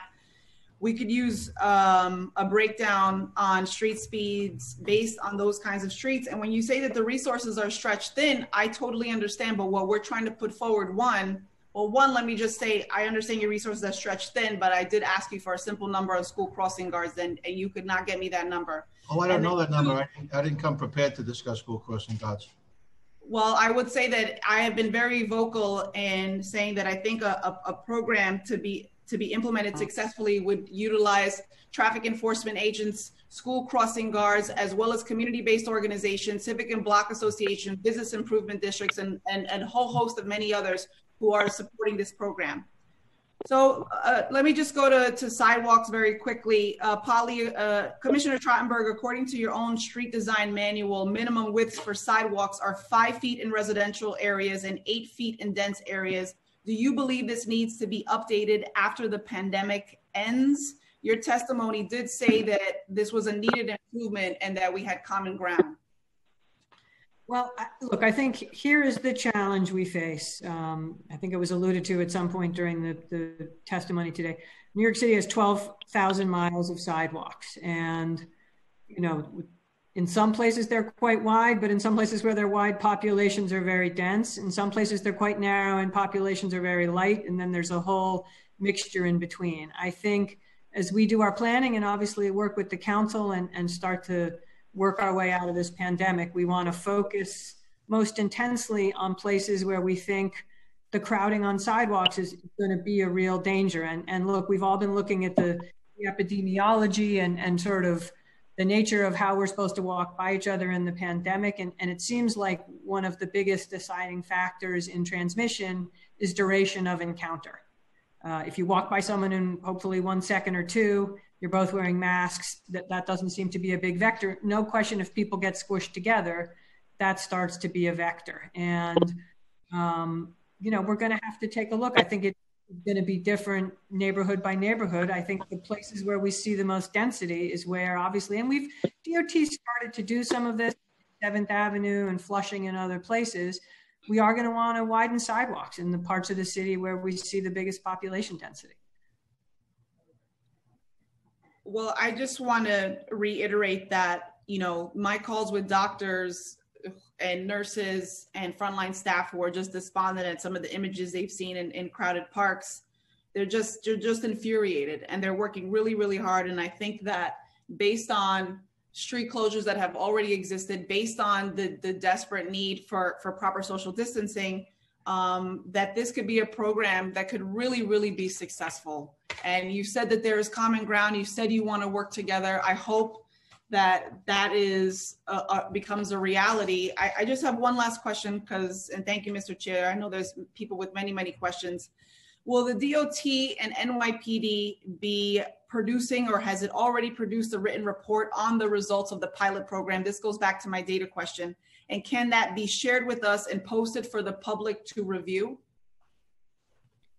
Um, I, I, don't think we ever did a formal written report. I mean, I, I, think we would concede right here it was a quick and not entirely perfectly done um, pilot project. I, I, don't know whether PD ever did anything formal. Yeah, I, I don't believe that we did. Okay, well, I would just, um, again, I, am looking forward to working with you on this. It, it seemed like you were interested. I, I realize that each open street can look very, very different. Um, not everyone has a backyard. There are families cramped into apartments. Sidewalks are very, very narrow. And I think we can all be a, a, a leader finally. I mean, we're behind many, many cities. But in terms of what we can do in our open space and some of the support, I think we can be a leader in this country and really looking out for those families that need the space to just promote a healthier and safer New York City. So thank you uh, to the Deputy Chief for, for your testimony. Thank you, Commissioner Trottenberg, and I'm looking forward to getting this done. Thank you, Councilmember. So are we. Thank you, uh, Councilmember Carlina Rivera. Uh, Speaker Johnson, I don't know if you have any additional questions to follow up before we call to the, uh, our other colleague. Just one one very very quick question. You know, uh, Deputy Chief and, and Commissioner, in Central Park, uh, you guys have been putting up a single tiny small barrier to block cars from coming into Central Park. It is not very big. Are you getting reports that cars are violating that? That people are entering Central Park and violating that barrier that exists? Cops are not stationed there. There's no enforcement personnel. You have a sign that's there that says do not enter with a very tiny barrier that doesn't even take up the whole thing. Are you getting reports that cars are violating that and entering the roadways in Central Park because you don't have substantial barriers and you don't have cops, police officers at every single entrance to Central Park? I am not aware of any uh, reports of that nature. Okay, thank you. Mr. Chair, thanks. Thank you. And, and before calling on our colleague, Councilmember Cabrera, Menchaca, Koo, and Cohen, I just want to uh, ask a question to Commissioner Polly which is, do, do you see a, and, and first I would like to, you know, explain my thought before asking the question, which is, at my age, in my 11 years as a council member, we had learned that we are, we had to develop, you know, always foundation to be united. And we will win this battle by being united as a city. But I can tell you that one thing that I'm committed myself in the names of all those faces of people that they been dying, especially those the poorest one that I will dedicate my time in government, or if I go back on teaching, if I do whatever in my life, to fight against inequality in a city that now is showing a face worldwide, that there's a lot more that we got to do. And I know that we have a big heart, and we need to work hard to push our agenda to lift up and bring opportunity to all New Yorkers. But it's not a secret, and I know that everyone knows. In 2020, we have built a city of the two New Yorkers still today. Like even when Citi Bike, when Citi Bike was created, it was not intended to think about the poorest neighborhood. This was intended more to the upper class and middle class New Yorkers. And I would like to see from now on especially those of us, the men and women, the NYPD, the doctors, the nurses, the EMS. By the way, they should be paid more. They show it one more time that they're in the front line saving life. and all of us in different roles that we play, that whatever we do, please, in the name of the future generation to come, in the name when we celebrate Martin Luther King, everything that we do should be based more on need than being popular. I feel that, you know, any policy, any legislation that we move should be focused about where do we need it the most. Because even in making in order to make it popular, we need to invest educating the poorest New Yorkers about the benefit of riding a bike, about the benefit of walking on the street. Instead of, you know, like just only thinking on areas where we have largest and more support. So how do you think, again, and when you say we open to sit on the table, to walk around this legislation, on this and many other legislation, how can we aim ourselves? Not to think about if we move this bill, think about later on to sit on the table and planning where it's more popular, but where are those things needed the most? So if you think about opening a street so cyclists and pedestrians, and it's so related to people dying, and there's a pattern of people dying and having asthma and obesity and being poor, will you commit to bring, again, your experience to think about putting in policy ideas and suggestions around this bill to start looking at underserved communities, not necessarily what is more popular. I mean, absolutely, Mr. Chairman. I, I, think, and I know the mayor and, and many members of the council have, have spoken eloquently about, um, you know, how we have seen the, the, coronavirus has shown us what we all know, the, the tremendous social and economic disparities in the city. And, and I think, you know, it has been heartbreaking to see the disproportionate effect that this disease has had on minority populations. By the way, that's been true in the, the city workforce as well. Um, and of course, I, I, think one of the main goals of this program is we want to design it to target those communities most in need, where we see the most crowding, where we're seeing the biggest health impacts, and, and getting that model right. Wanting to make sure that we're also, you know, in places though, in those communities where there are hospitals and other things that we're in, ensuring that we have good access to those. So I think we all share that that would be a very important goal with designing this program as we go forward. We certainly commit to you on that. Yeah, but when where where we see more crowding is in the midtown area. You know what I mean? Where we see more the need, if you just let us, you know, what we have seen as what we will guide us, assuming that we can work and pass this bill and mayor to sign, will not start in area where most people being hurt with this virus. And I just want, I think that we open, I think that, you know, from the speaker listening to you. I know that we care for that. But I have seen over and over, as I said, look at the cyclist community. They live in the and the live in the bike share, whatever I said before, they need to put their dollar to bring educational initiatives in the underserved community. Because we have created that condition for cyclists to be seen as something of the middle class and the upper class and the faces of the 35% New Yorkers who live in poverty are the ones that we have seen dying large numbers. So, you know, I just want to encourage that, you know, we can explain it. We can say, all, all, we all care for this. We are all in the same boat. But if you go to the underserved community, it's a different reality. And I just want to see how, again, I want to highlight it so that we can have that in mind. That there's a right. level of frustration. And, and Mr. Chairman, look, there, there's no question, you know, Citi Bike, which which started now seven years ago, it, it started in the dense parts of Manhattan. I, I, think we've, you know, we are now on track to double the service area. And as you know, this summer we are on track. That's one piece of essential work we're going to keep doing, um, bringing more bikes and more stations all the way up in Manhattan into the South Bronx. So you know, we, we keenly recognize we need to keep expanding the system and make it affordable for low income folks and do all the education and outreach that we need to, to encourage folks to ride. We're, we're very enthusiastic about that mission. Thank you, Commissioner. Now let's hear from the council members.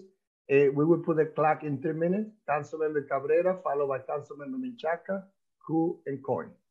Councilmember Just Cabrera, as a quick reminder to council members, if you would like to ask a question, please use the raise hand function on Zoom.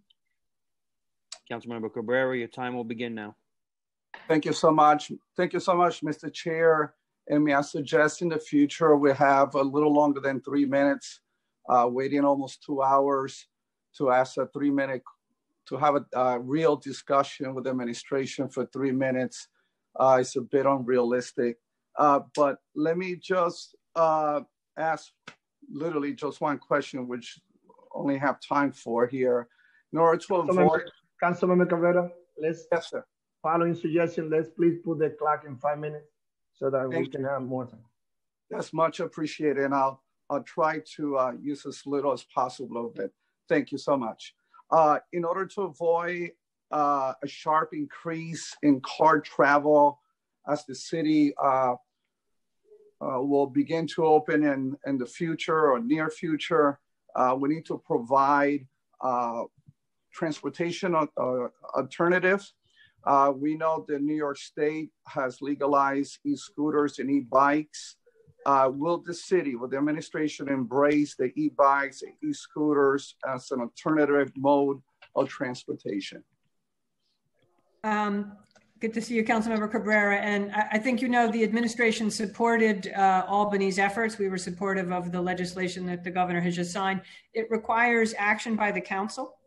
Uh, there's a local option, but but we're enthusiastic about talking to you all about that and, and coming up with the, a plan that's going to work for the city. So for sure, we we certainly recognize the bigger point you're making. Uh, as we come back out of this crisis, we have to think about mobility, making sure people feel safe getting back on mass transit, certainly accommodating more biking and walking as well. Well, Commissioner, it warms my heart, and I know all of the transportation alternative advocates applaud you. Uh, looking forward to having a conversation with you, uh, and of course with our council uh, staff uh, to making that a reality. Thank you so much. I didn't use the whole time, uh, but uh, Mr. Chair, thank you for the extra time. I really appreciate it. You only use two minutes. Councilmember Menchaca, followed by Councilmember Koo and Cohen. Councilmember Menchaca, your time will begin now.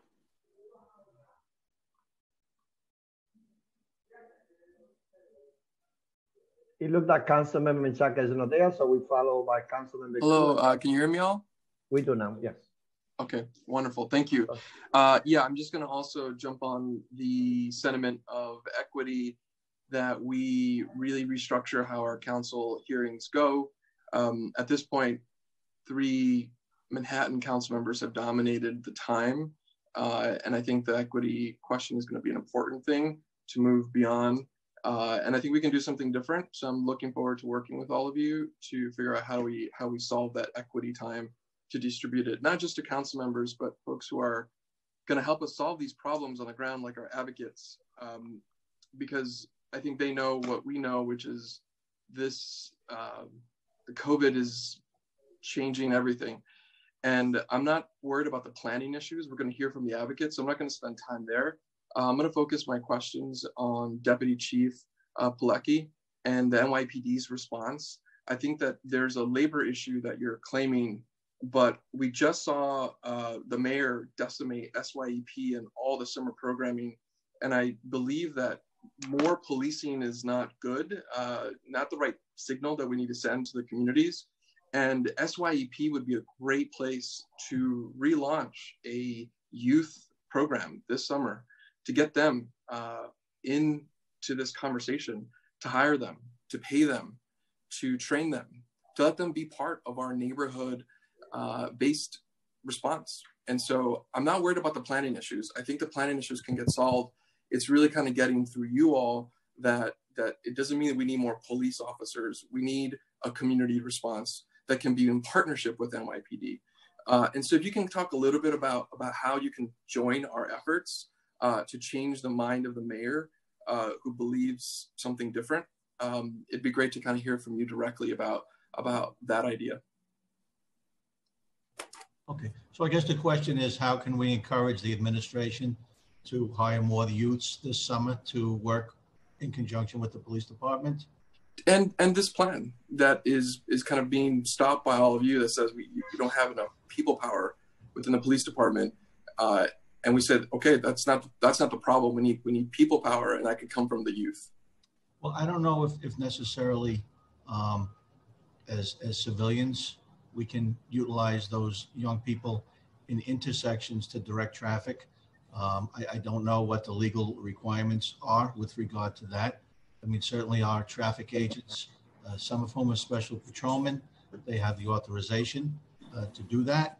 Um, but I don't know where that where that would lie with regard to these young people. We can certainly pass that message along uh, to the chain of command, but I, I, can't make any commitment about that. As you know, we have our um, our cadet program where we have uh, young people who are actually going to college, working for the department.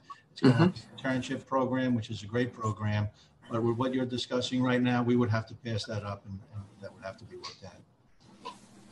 Okay, I think that's it. I just want to make sure that you understood that. It'd be great for you to join in this effort. Uh, and I think our young people can be a part of it and really rethink how we utilize our neighborhoods and the youth that right now have no summer programming whatsoever. So help us save SYEP and get them to be a part of this plan. Thank you. Thank you.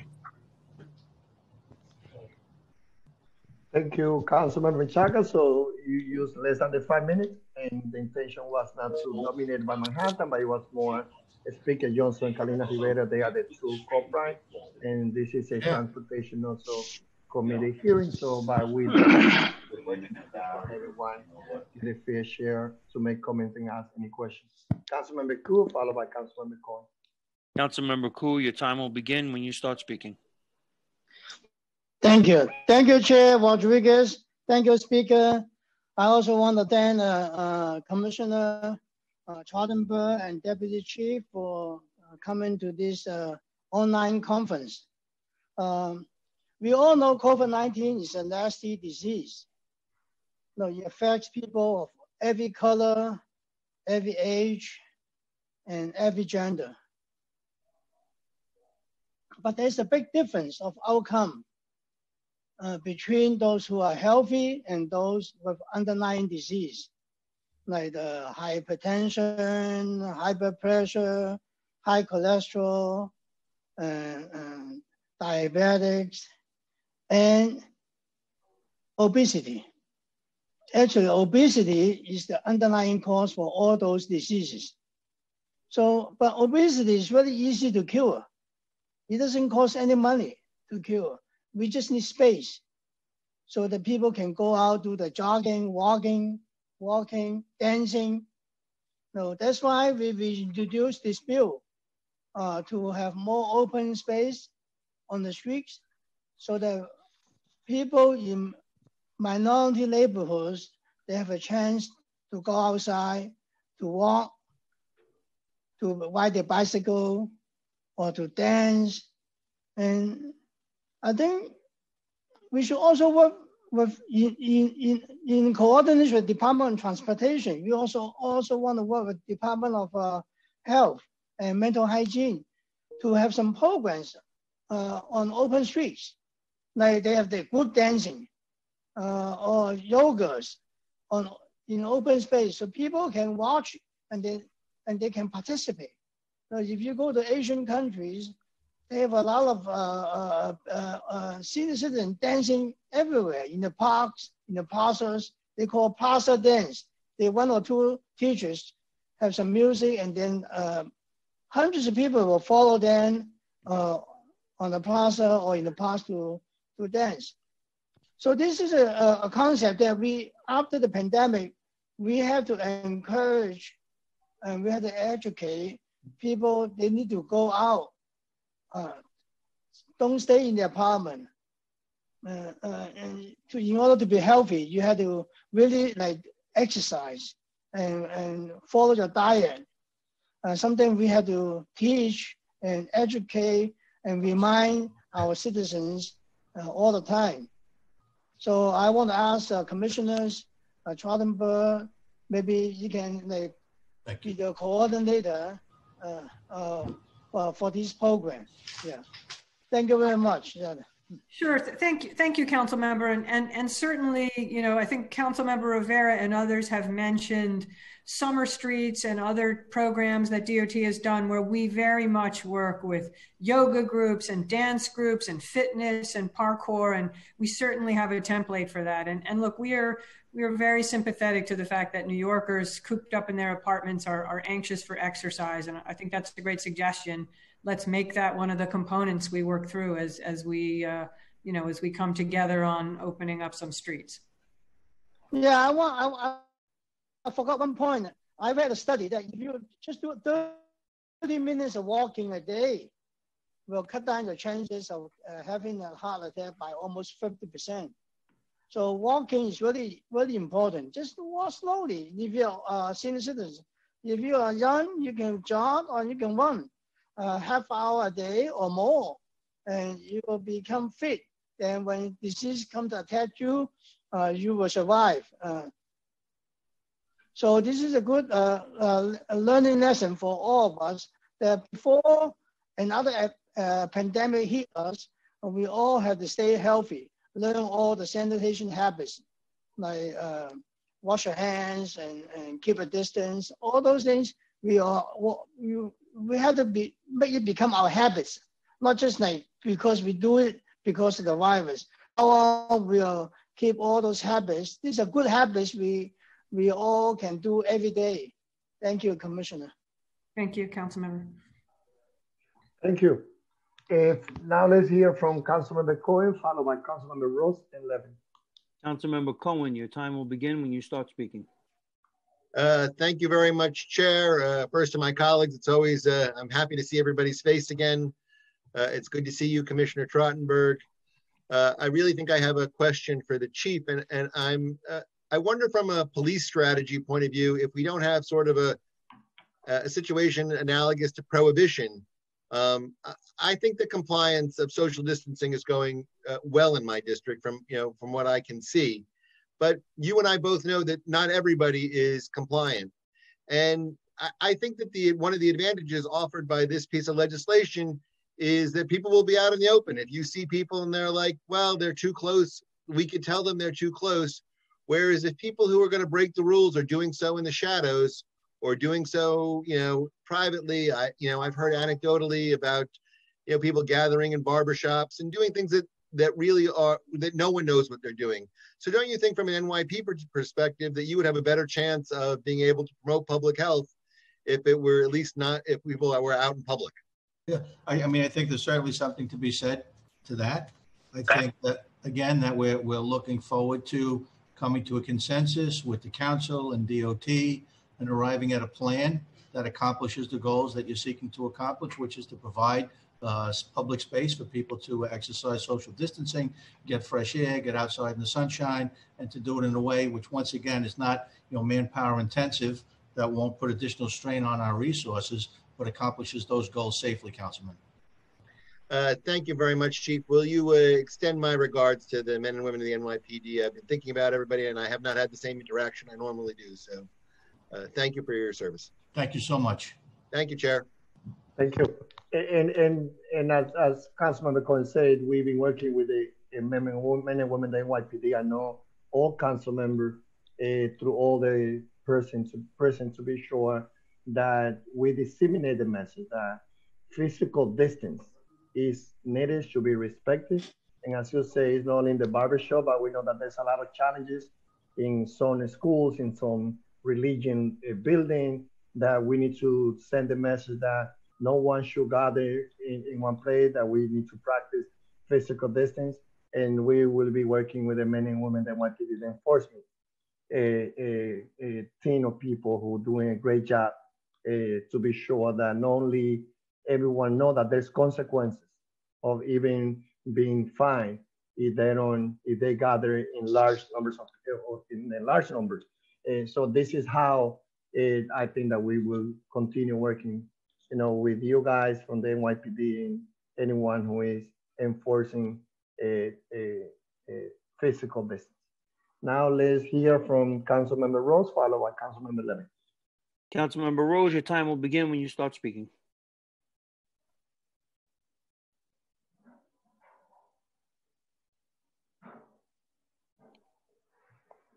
Uh, Debbie, we can't hear you. You have to unmute yourself.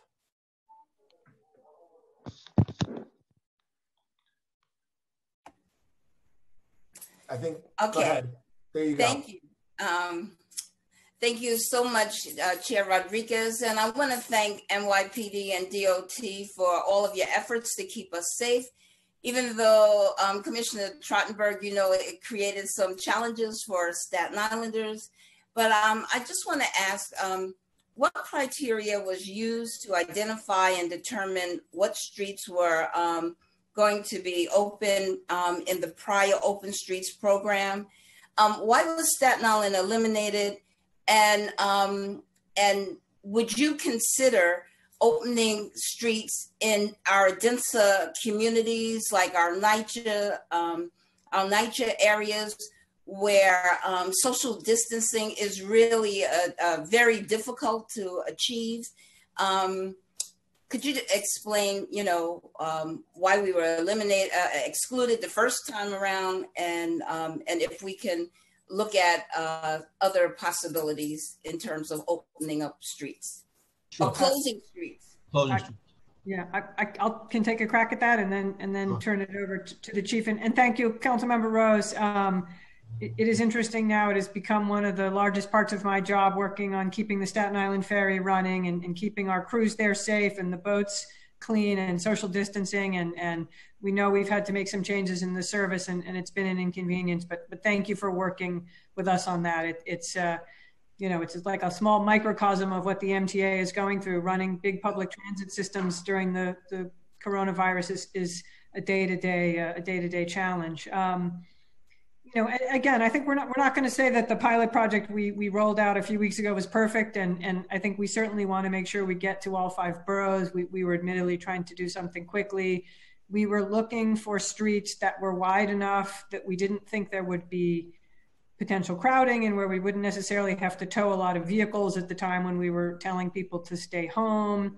We were trying to stay away from bus routes and, and major truck routes and major routes for emergency vehicles and you know then looking at areas that we saw were densely populated. And NYPD was sort of looking at the staffing questions. I, I think we we readily concede we can improve on that model. And, and anything we do going forward we definitely want it to be all five boroughs. I, I think when you talk about you know um, we were looking at the disparities um, in in new york city and we understand that um, part part of the problem is that people can't social socially distance in um, in our more denser neighborhoods that um, this is the perfect opportunity to be able to uh, allow that and um, and sort of uh, equalize you know access to to the rest of the communities. Understood. Thank you. Councilmember levin Okay. Before Councilmember Levin starts, if I could just remind everyone, if council members would like to ask a first uh, question, could you please use the raise hand function on Zoom? Thank you. And Councilmember Levin, your clock will begin once you begin to speak. Thank you very much, um, Commissioner in Chief. Um, my question is, so we're going to be approaching um, in the coming uh, in the coming weeks um, uh, a lower rate of infection. We're all staying inside um, and practicing the social distancing now, and that's going to have an impact of by the end of May, um, you know, a much lower rate of infection akin to um, other cities, um, other cities that we're talking about. So whether that's Oakland or um, uh, and other cities in the U.S., we won't be at the same volume that we are now but we are going to still have to um, have social distancing measures moving forward. So as we move into the next phase of this, it's um, um, you know, and, and, it'll be a, kind of a longer term um, containment phase um, where we hopefully will not have a high volume of cases, um, but we'll still have to do social distancing. Um, so I think that there's a, a, a, strong argument to be made for kind of how we want to plan this out for a time when you know we're going to more as a, as a kind of longer term strategy of say um, you know 12 to 18 months um, of kind of what what we this is there's going to be a prolonged period of social distancing um, uh, and and how do we want to how do we want to kind of operationalize this? So that that's that's my main question is how, how do we want to look at that not so much in the short term but kind of this longer term vision for it?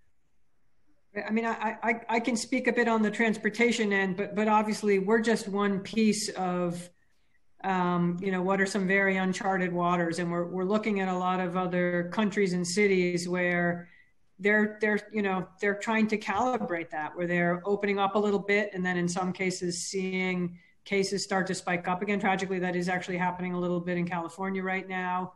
Um, and we're, we're learning together on the transportation end I think, as we've said, and the mayor, I think, talked about it actually in his, his press event this morning. I mean, New York City needs to function with a mass transit system that needs to be safe. We are also going to have to provide alternatives. And I, I think, as I said in my testimony, for DOT, the longer term, that's our focus, talking to the MTA and other regional transportation partners, talking to experts, talking to advocates. Um, preparing for a next phase where you know right we're trying to get our city back to normal and people working but we still need to social distance um, and doing that safely we're we're doing a lot of thinking and planning on that it extends beyond transportation to restaurants and and workplaces and and you know so many different elements of society and, and clearly pd is i think going to continue to to play a big role in in the staff enforcement of that at least in public spaces yeah.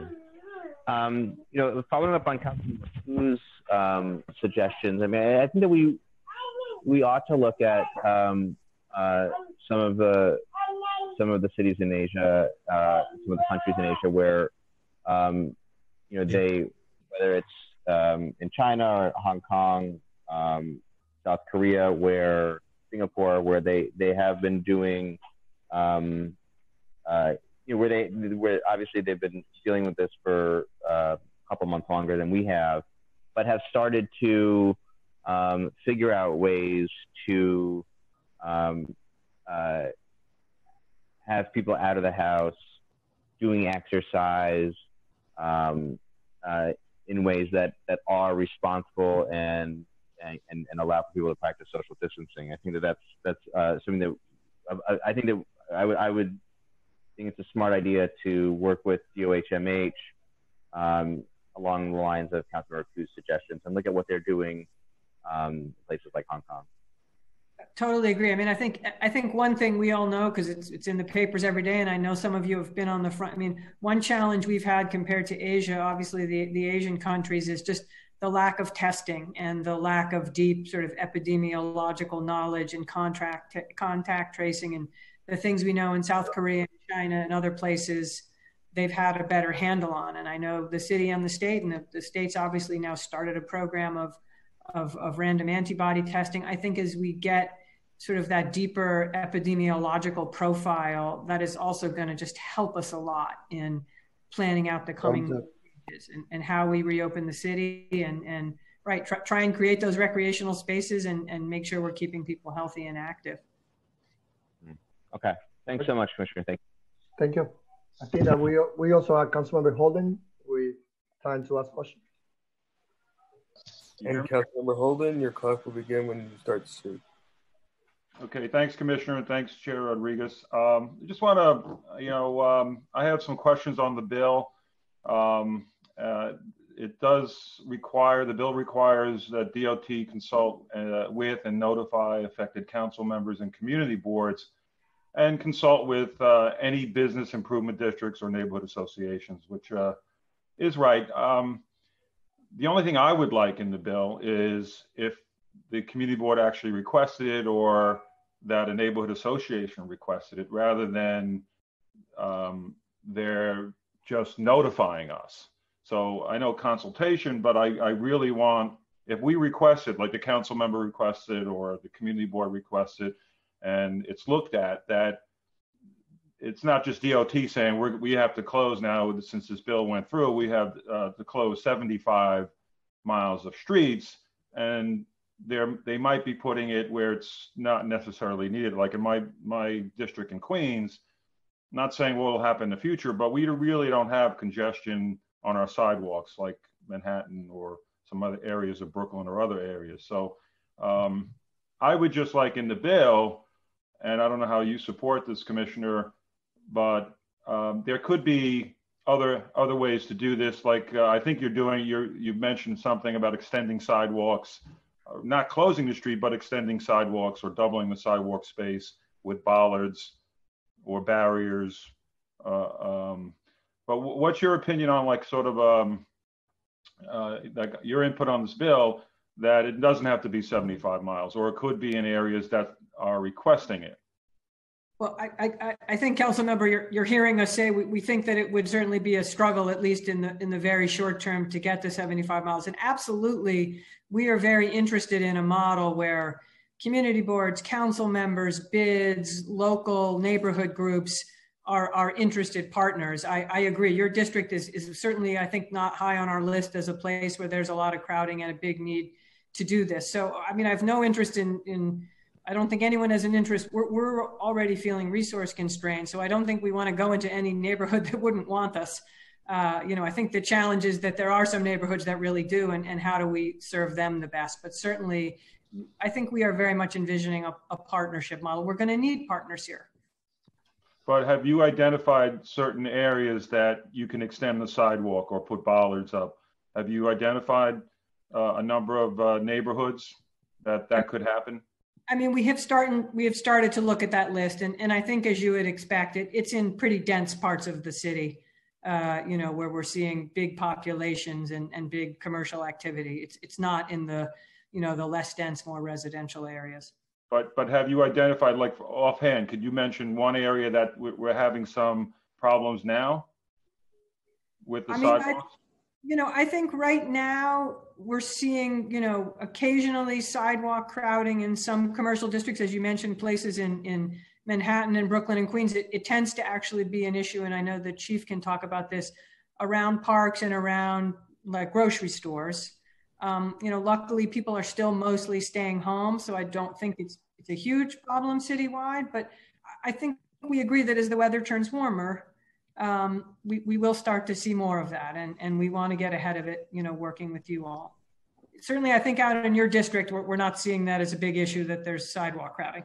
Great. Thank, thanks, Commissioner. Thanks so much. Thank you. Thank you. Commissioner, before going to the public, I, first of all, just think about 51 council members and think about the numbers of council members that I say, I can work with you guys, DOT and NYPD and give you five miles in my community that you know can fulfill the need to have more space and Councilmember Rose, you know, you were right when you say opening the street. So it's not closing the street. We don't want to close the street. We want to open the street for pedestrians and cyclists.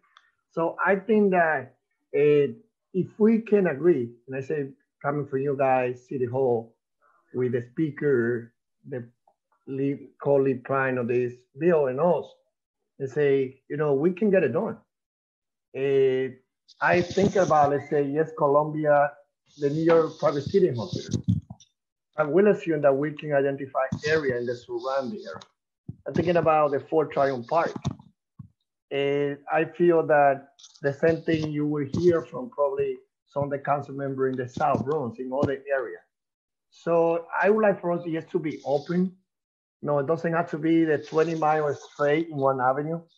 It can be also depending on how, of course, in conversation with the staff or the speaker the, eh, and all of us together, to be open. And I think that there's so many, it's not only about, you know, opening some area close to Central Park or Park Avenue.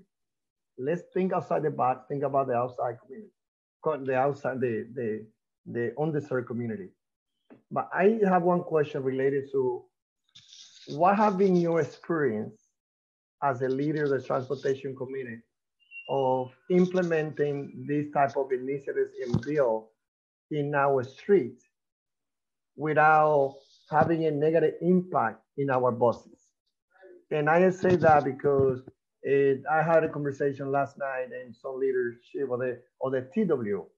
And for me, one thing that I explained to them, I know that we at the council, our subcommittee in the city too, to expand our buses because that's the only mechanism, the most important mechanism that we have right now as a public mass transportation throughout the city of New York, especially in the surf community. How can we, assuming that between City Hall and us, we can work the details, implement this plan of opening more streets to pedestrians and cyclists at the same time that it doesn't have any, any negative impact in our buses. Well, um, and, and first of all, I just want to say you, you were mentioning the TWU, and you know, I, I just want to say that that certainly our, our hearts go out to them and their members, and, and they have suffered some tremendous losses, and, and we're so sorry about that. I mean, I, actually, when Councilmember Rose asked what were the criteria we used for that initial pilot, I'll admit one of the criteria was we said no bus routes.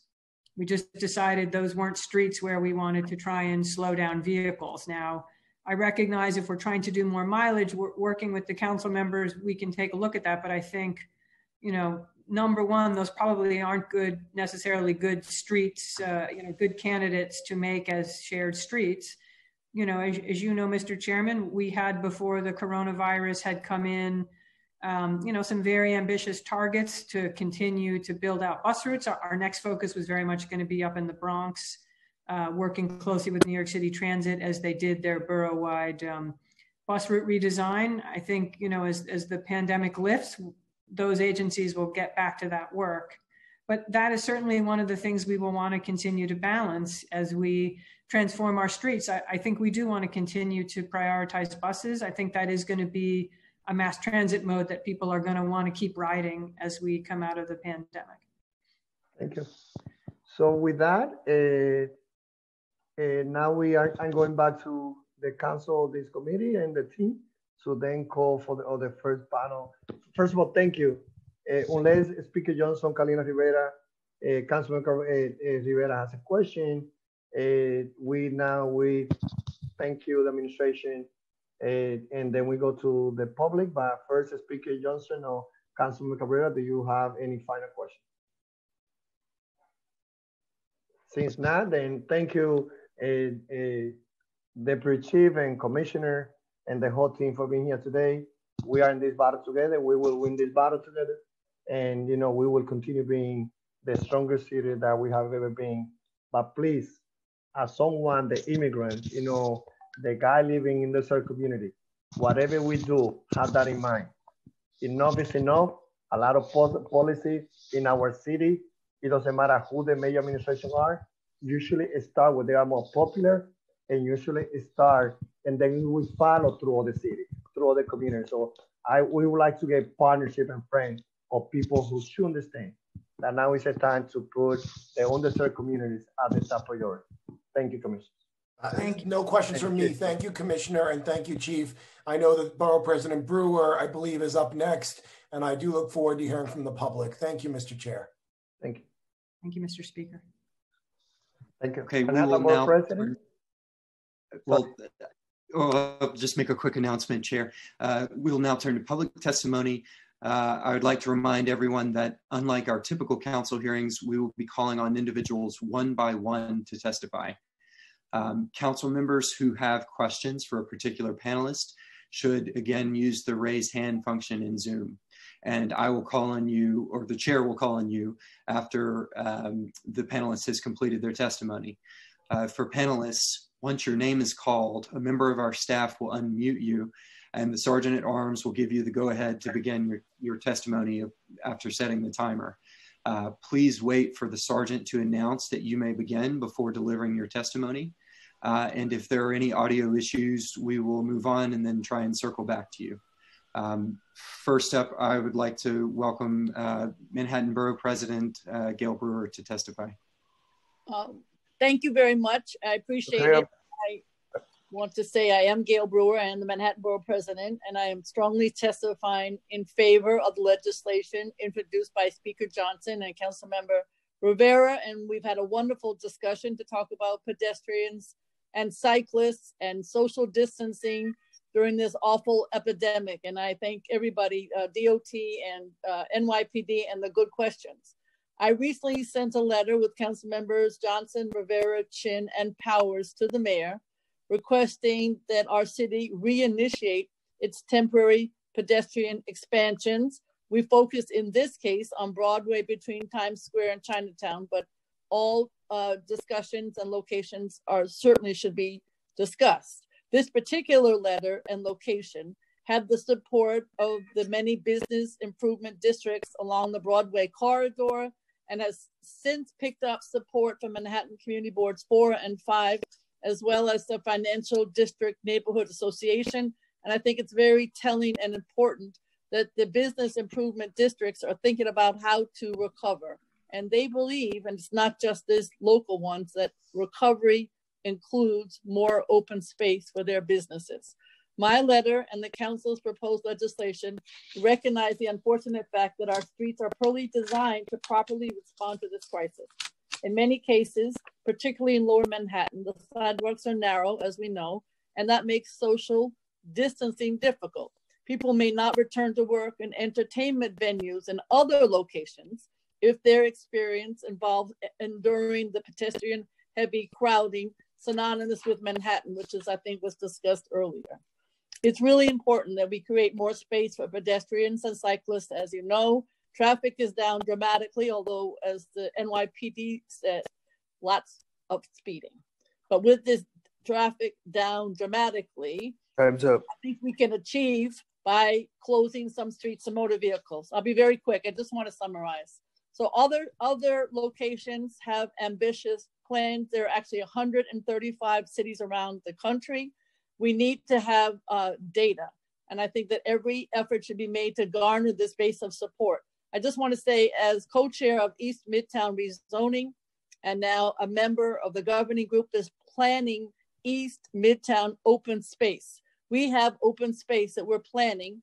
It worked with the bids. They had ideas about how to have access and they had ideas about how to do loading and reloading. And that's what happened. And that's why it worked. So I am supportive. I support the legislation.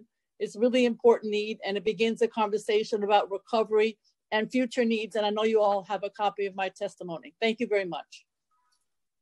Thank you, Board President. Now we're going into the public and the clock will be in two minutes.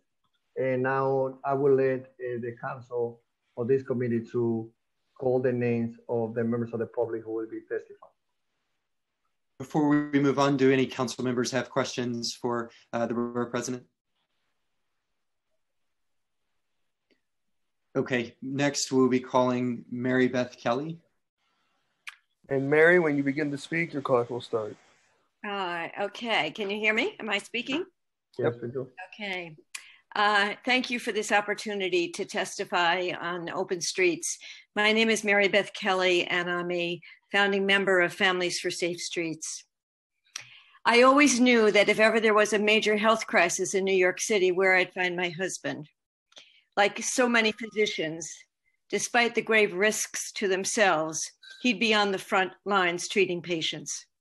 Well, that's where he'd be if he had not been killed in 2006 by a reckless driver while he was riding his bicycle. As a physician, he felt honored by the opportunity to care for his fellow New Yorkers.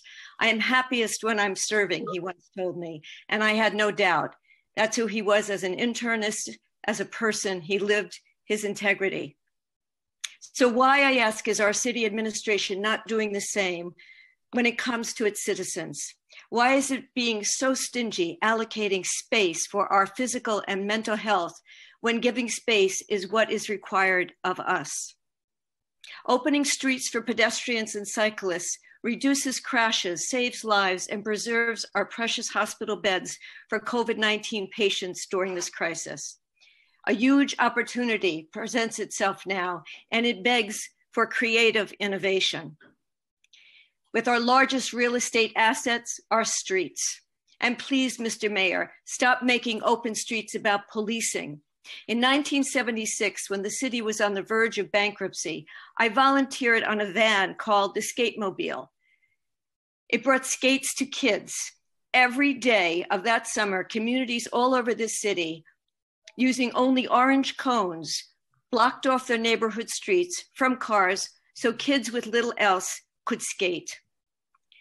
We had no police presence, only a local firefighter with a big red wrench who generously would unscrew. And up. Can I finish? Um, the ultimate sacrifice is now being asked of, of us.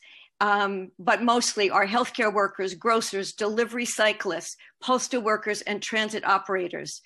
And so I employ our city government to serve them, to serve us all visibly where it matters. Give us space. Give us open streets to keep that necessary social distance, space to safely travel to the bus or subway, space that gives us clean air to breathe, gives our children room to safely ride a bike, seniors peace of mind to venture outside, and parents a little relief from being full on while keeping the peace inside.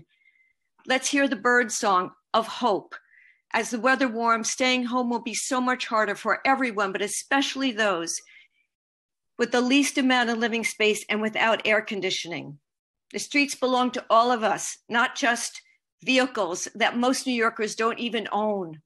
Stop making us squeeze down narrow sidewalks, clinging to the edges to stay alive. Pass intro 1933. Open streets, seize this opportunity and feel the deep joy my husband knew that is inherent in serving, of truly taking care of one another. Give us what is of greatest value right now, the very thing we need most. Give us space. Thank, Thank you. you. Thank you.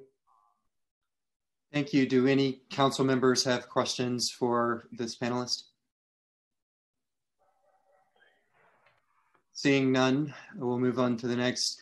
Uh, we would like to now call Dahlia Goldenberg.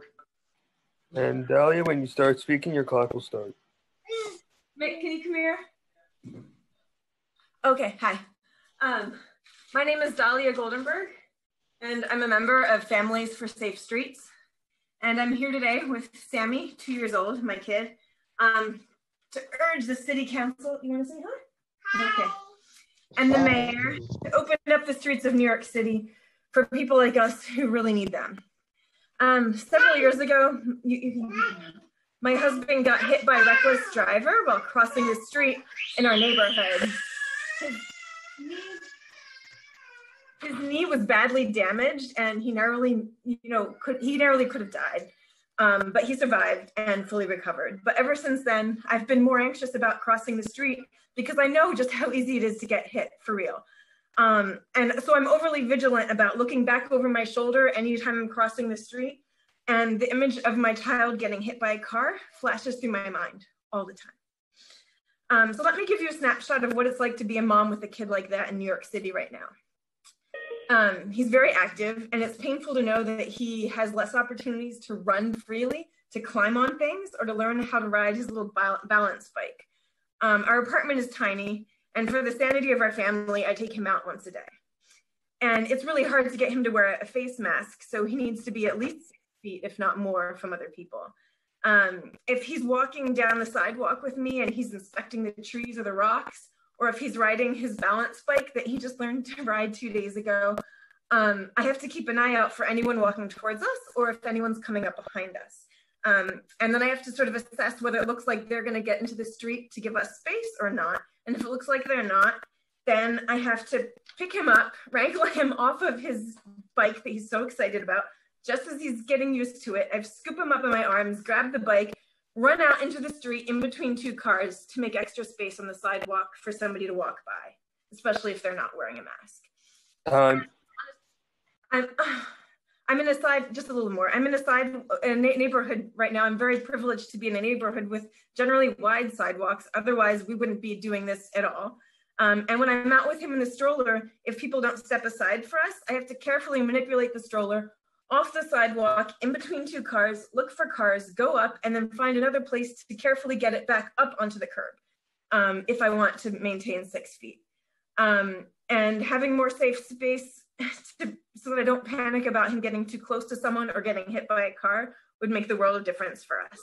Um, and I also have a friend who's an undocumented immigrant living with four small children and, a, and her husband in a tiny one bedroom apartment, and they're not leaving their apartment at all. And they're in a neighborhood worse than ours. Thank you. Thank you. Do any council members have questions for Dahlia? Okay, seeing none, uh, we'll next call on Nakia Whittington. And Nikita, when you start speaking, your clock will start.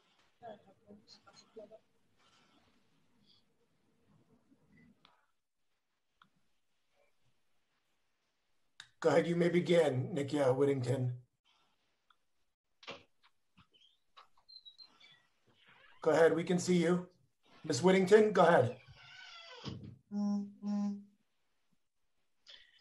Good afternoon, everyone. Good afternoon. Good afternoon. Um, my name is Nakia Whittington, and I'm here today as a new member of Family for Safer Streets. I want to give my testimony for my son, Siobhan Bethia Jr. And I'm going to begin now. Next month will mark my two year and my son's two year anniversary since I buried my son. He was seven years old. His name is Siobhan Bethia Jr. He was killed by an MTA bus driver on Webster Avenue in the Bronx. His 11 year old brother, Deshaun, had to watch him die. All I wanted to do was lift up the blanket in the morgue, but they said not to because his body was badly, badly crushed. I kissed his beautiful face. I know we were living in a modest time of a pandemic, but the, the traffic violence is a silent pandemic. Just a few months ago, Deshaun was hit by a van as he was crossing the street with his uncle and he had the lights to cross.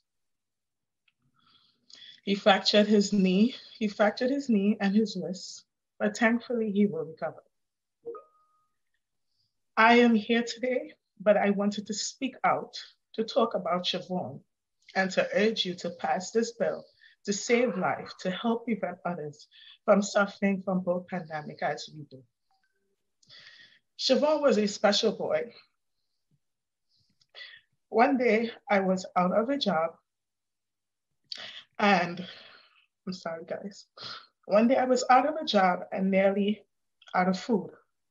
Siobhan took his books outside on a trolley and sold them. He made little drawings and he sold them. He got $70 and he said, Now, mom, now we can get something to eat, mommy. If he was here now, he would be telling me, Don't worry, mommy, everything is going to be okay. Our, our last Mother's Day together, he wrote me a poem and I wanted to share it with you guys. Sometimes we get discouraged because I'm so small and always leave my fingerprints on the furniture and walls. But every day I'm growing and I'll be grown, I'll be grown someday and all these tiny handprints will surely fade away.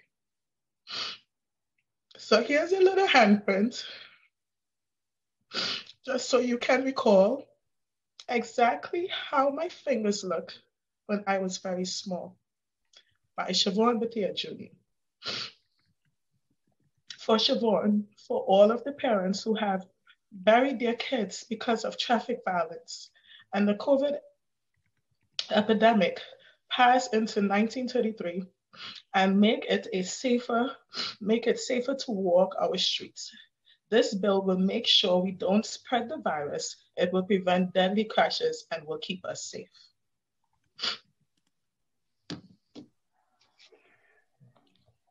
First of all, our prayer and no one as a father to daughter, seven and 13, I know that it does, you know, you can express all word of solidarity, but you are the one that has the emptiness in your heart. And I know that's a person of faith. That's the only way, the only way of how we can wake up and go to sleep. You know, if something like that happened to any parent. So I know that your son now is fighting for you and for all of us. I just have a question, especially as person of color that we are, which is my fight this day. And I know it is important to have, you know, the, our voices here in this conversation. How critical is this bill, especially in underserved communities, such as in the Bronx, North Manhattan, in any borough? So once again, I would love to thank you guys for giving me the opportunity to share my testimony about my son. He was very dear to my heart. And I would also like to thank you guys for the NYPD and the DOT for keeping us safe in this pandemic. Thank you.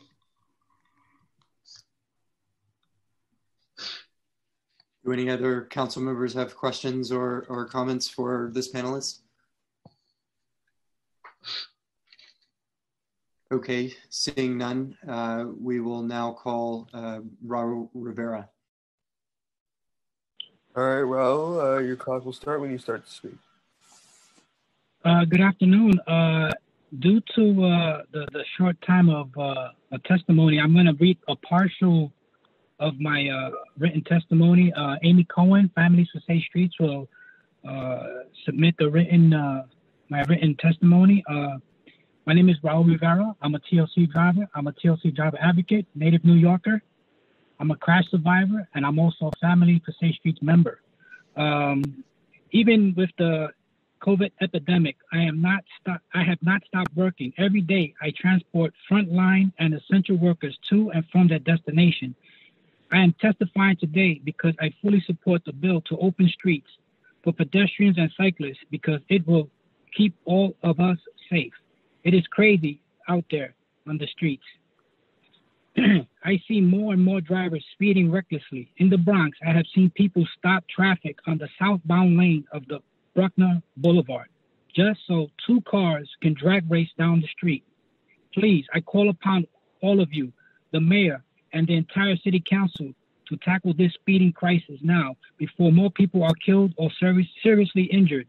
This bill is a step in the right direction. It will make other streets less likely to turn into speedways. It will like it will it will let it will let our essential workers walk to and from work when they can without contaminating contaminating their neighbors. As a professional driver, I urge you to pass this bill. Thank you for your time. kept it under two minutes. Thank you. Thank you. Um, council members have questions for um, this panelist? If so, you remember to use your raise hand function on Zoom. Yeah, let's follow with the plan. So if any council member, I don't have any questions. Uh, I know Raul, thank you for the work that you're doing, not only on, on pedestrians issue, but also a voice for our drivers. Elio, I would say that unless council member raise their hand, in the Zoom, so you just continue calling the name. Okay. Uh, next, we will hear from Mark O'Connor. Mark, your time will begin when you start speaking. Okay, can you hear me? We do.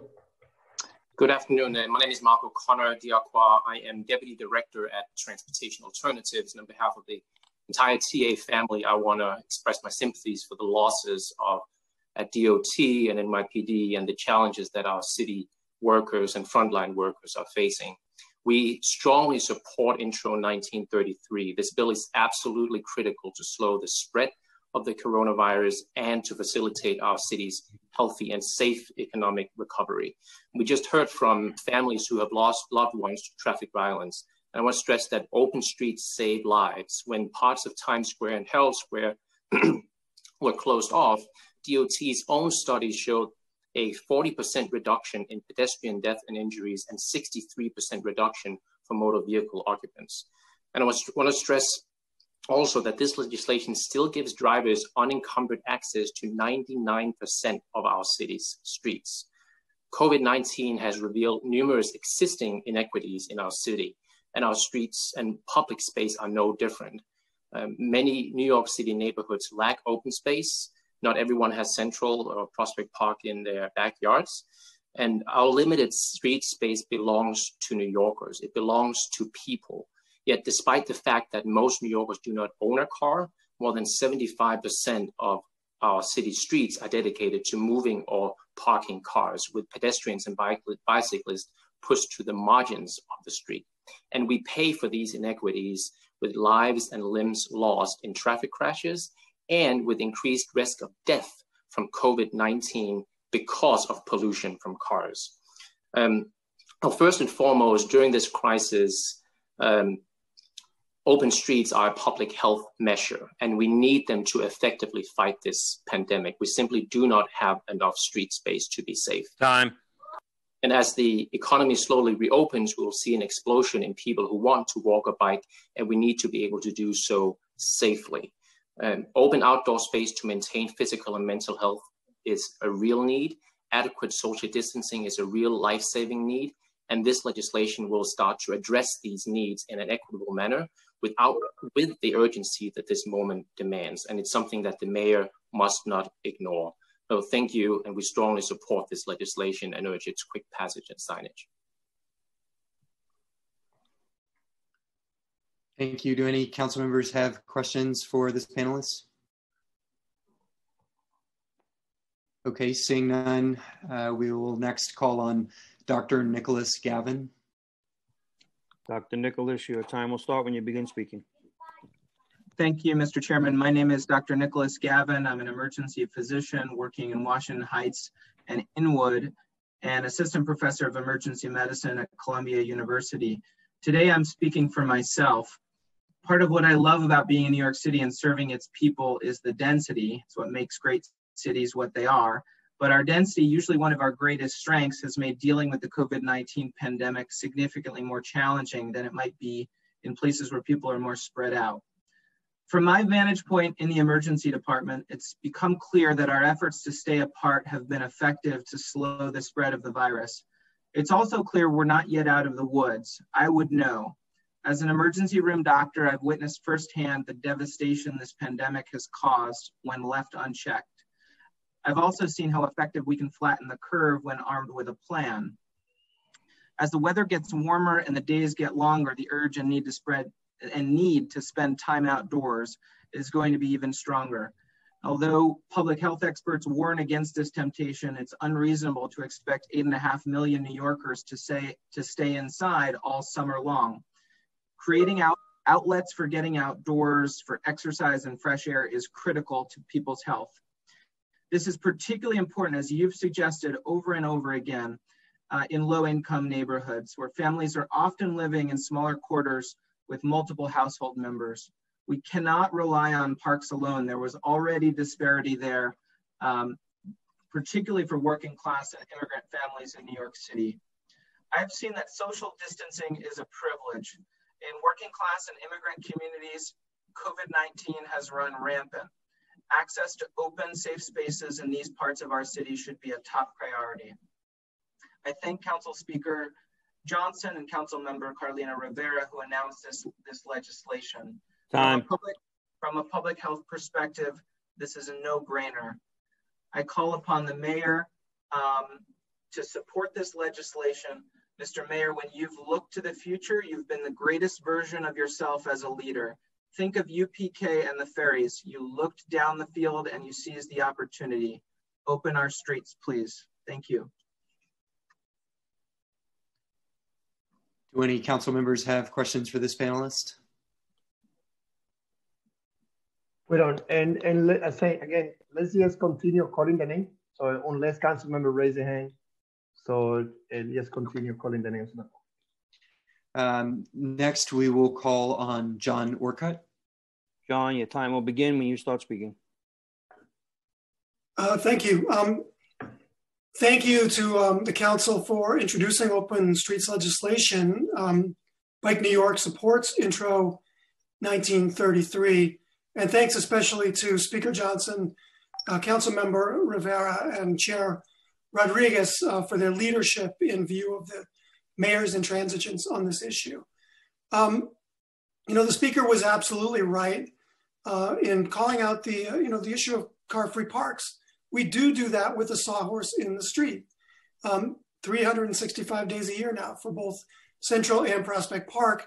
DOT itself has a great program called Weekend Walks, which allows um, neighborhoods to identify temporary pedestrian streets. And the way it works is basically PD drops off some sawhorses on the corner, say on a Friday night, and um, civic partners put those sawhorses out Saturday morning, and, and you have a great weekend of uh, Streets for People.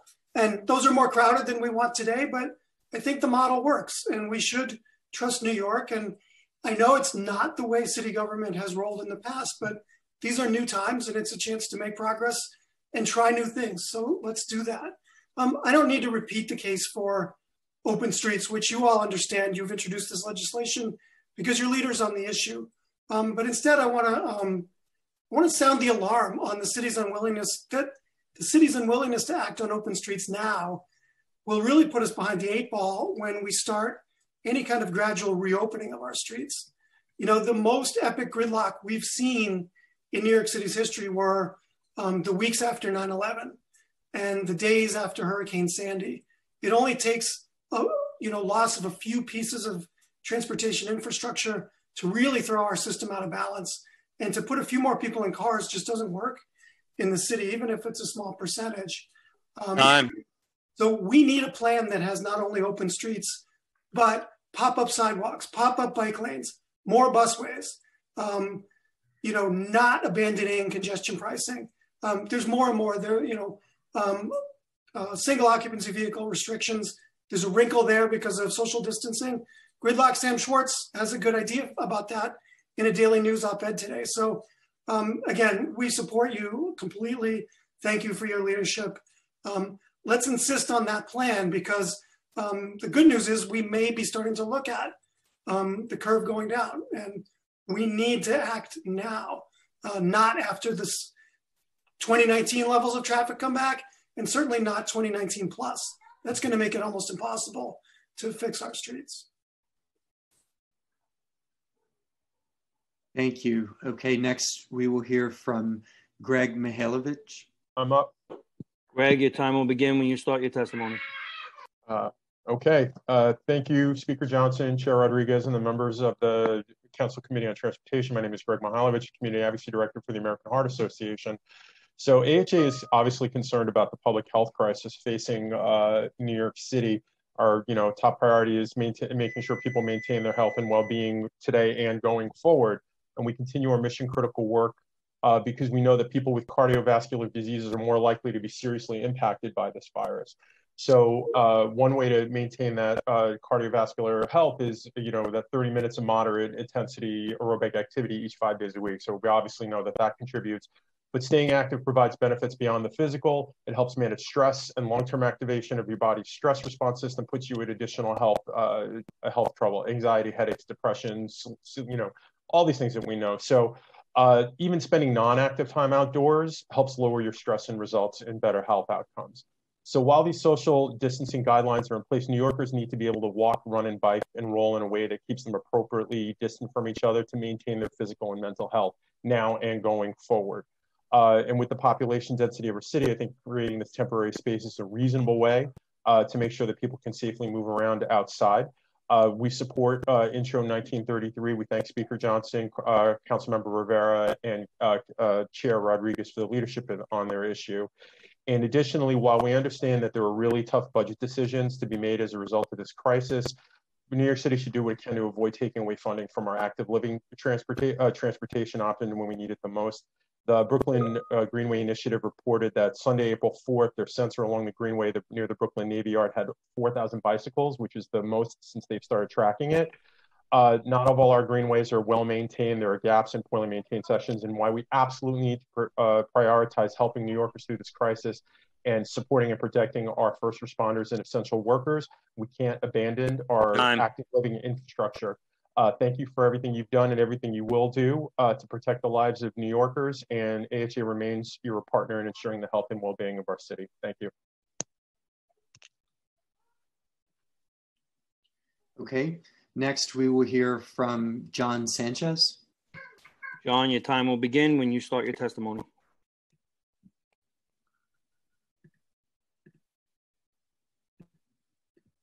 Good morning, Chairman Rodriguez and members of the committee. My name is John Sanchez, and I'm the District Manager of Bronx Community Board 6. I fully support Intro 1933. It requires DOT to provide a plan for open and shared streets using the same criteria that's used for street closures approved by the city's SAPO office. As District Manager, I review several dozen street activity permits yearly and assist organizations with Play Street applications. This is one of the few areas where community boards have significant power and one we're uniquely familiar with. The guidelines for play streets and street activities require that safety be considered. The guidelines for play streets require that the street does not have high traffic, is not on a bus route, is not adjacent to a hospital, and does not have commercial establishments that would be curtailed or adversely affected. This legislation requires that DOT uses those same factors. Also, this is important to protect resident safety. Despite traffic being nearly 80% decreased since COVID has happened, we've seen an uptick in speeding. On a normal day, the Bronx would see 14 million miles driven by vehicles. This Monday, we saw 2.9 million miles driven. The removal of one traffic lane will not harm many drivers because drivers just aren't driving right now. More importantly, this is a time where everyone needs to have shared sacrifice. In Community Board 6, we've lost access to nearly nine acres of the available 29 acres of parkland in our community board due to the closure of playgrounds, which is about 30% of our total parkland. Intro 1933 requires that drivers share 75 miles, which is 1% of the 6,300 miles in New York City. Take it a step further, 800 blocks is 0.6% of the 120,000 blocks in our entire city. This is a sacrifice that drivers can take, and all New Yorkers pay to maintain our roads, not just drivers. Pedestrians and cyclists have just as much of a right to it as drivers. In closing, our community board is ready and willing to assist DOT to make this initiative go through successfully. Thank you. John, I have a question. Uh, yes. since uh, you are the district manager, as I have said before, you know, representing like a mainly a Latino uh, and Black area. Yes. How critical, and as you know, this has been important for me my whole life, but as I have, I, I always encourage my friend in the cyclist community, I need their voices. And I need for them also to understand that even buying an expensive bike, of getting membership of the city biking order is a, it's a privilege. It's not something that many of the constituency that we have in community board, say that you are the district manager, or the poorest neighborhood where we are dying by hundreds every day in this epidemic and that things didn't happen overnight. Also, we've been more affected because of people who never have access. You know, the same as other middle class and upper class community when it came to get into bike when it came to have also a space, safe street for them in, to buy in poverty.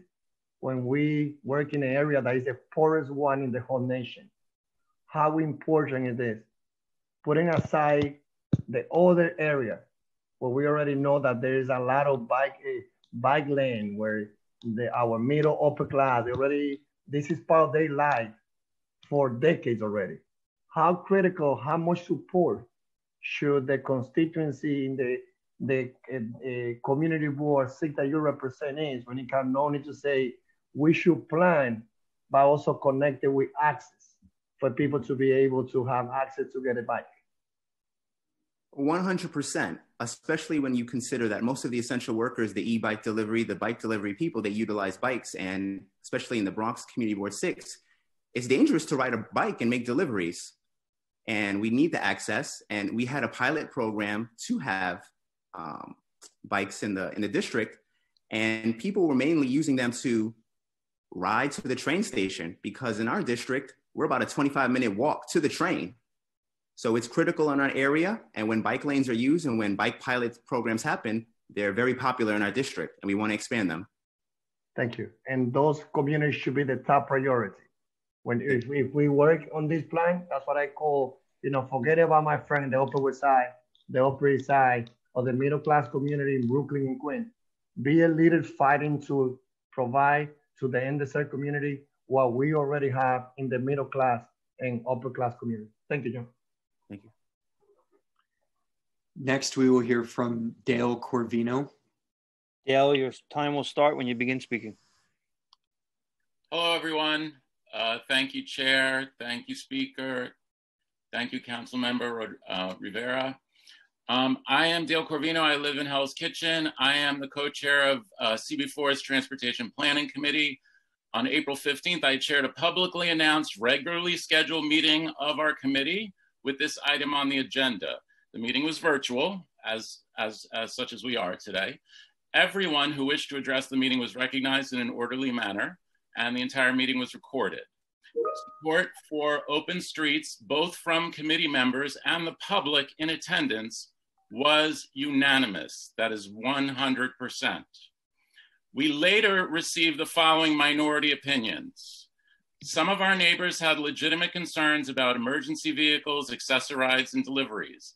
In the plan we envision, which mirrors the, uh, the plan uh, that you'll vote on, uh, vehicles are nowhere restricted, and dispatchers can easily optimize travel routes in advance. Uh, one individual thought that the measure was unnecessary that since there are fewer pedestrians on, the, on our sidewalks. While this is true, it's also true that narrow sidewalks are too often obstructed by construction sheds, garbage, recycling, tree pits, meters, and other equipments that make keeping the recommended six foot distance while passing impossible without stepping into the street.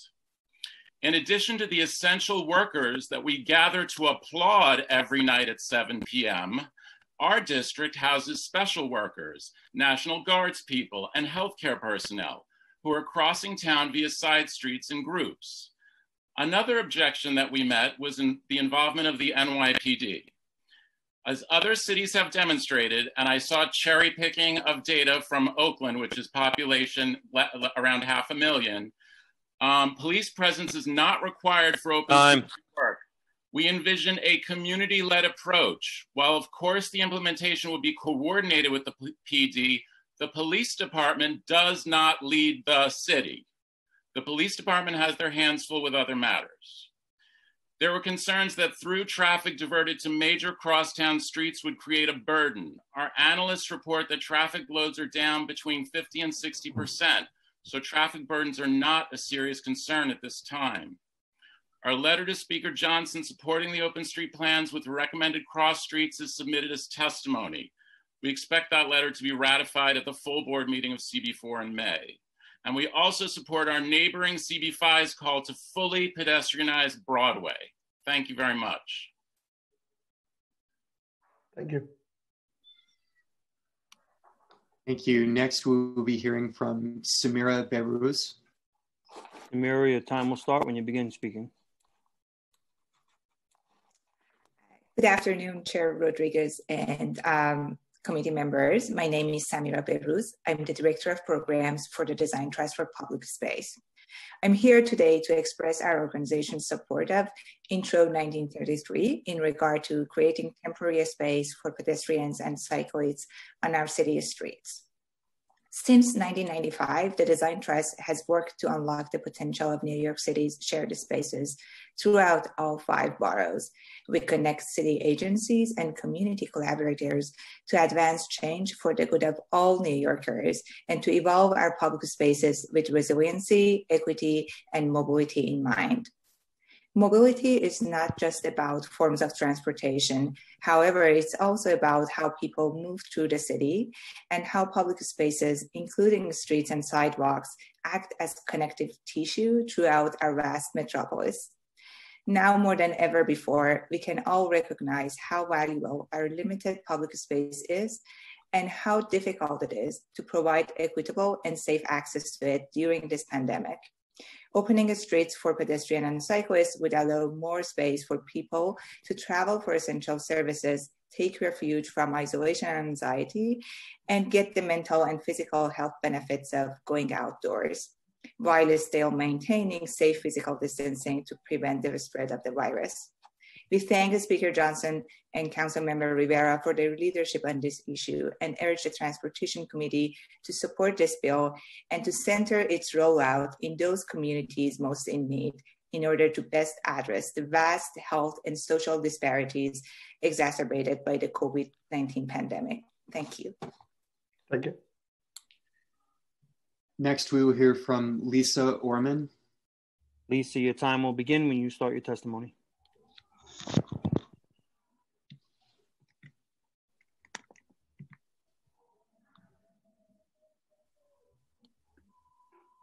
Lisa?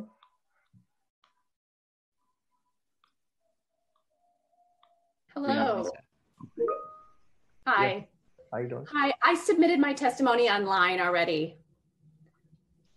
Thank you. I sent it to you, Elliot. Okay, thank you. I echo what everyone else has said. This is Thank- doable. Thank Thank, you. you. Okay, next we will hear from Patrick McClellan. Patrick, your time will begin when you start your testimony. Is that okay? Thank you very much. Um, my name is Patrick McClellan. I'm the State Policy Director at the New York League of Conservation Voters. Uh, I want to thank uh, Speaker Johnson, Chair Rodriguez, and uh, Councilmember Rivera for the opportunity to testify in support of this bill. Um, when New Yorkers leave their homes to get fresh air, which medical professionals recommend for both physical and mental health, they deserve to be able to do so as safely as possible. Um, but as others have pointed out, many of our city sidewalks are too narrow to accommodate pedestrian traffic, while also allowing for proper social distancing.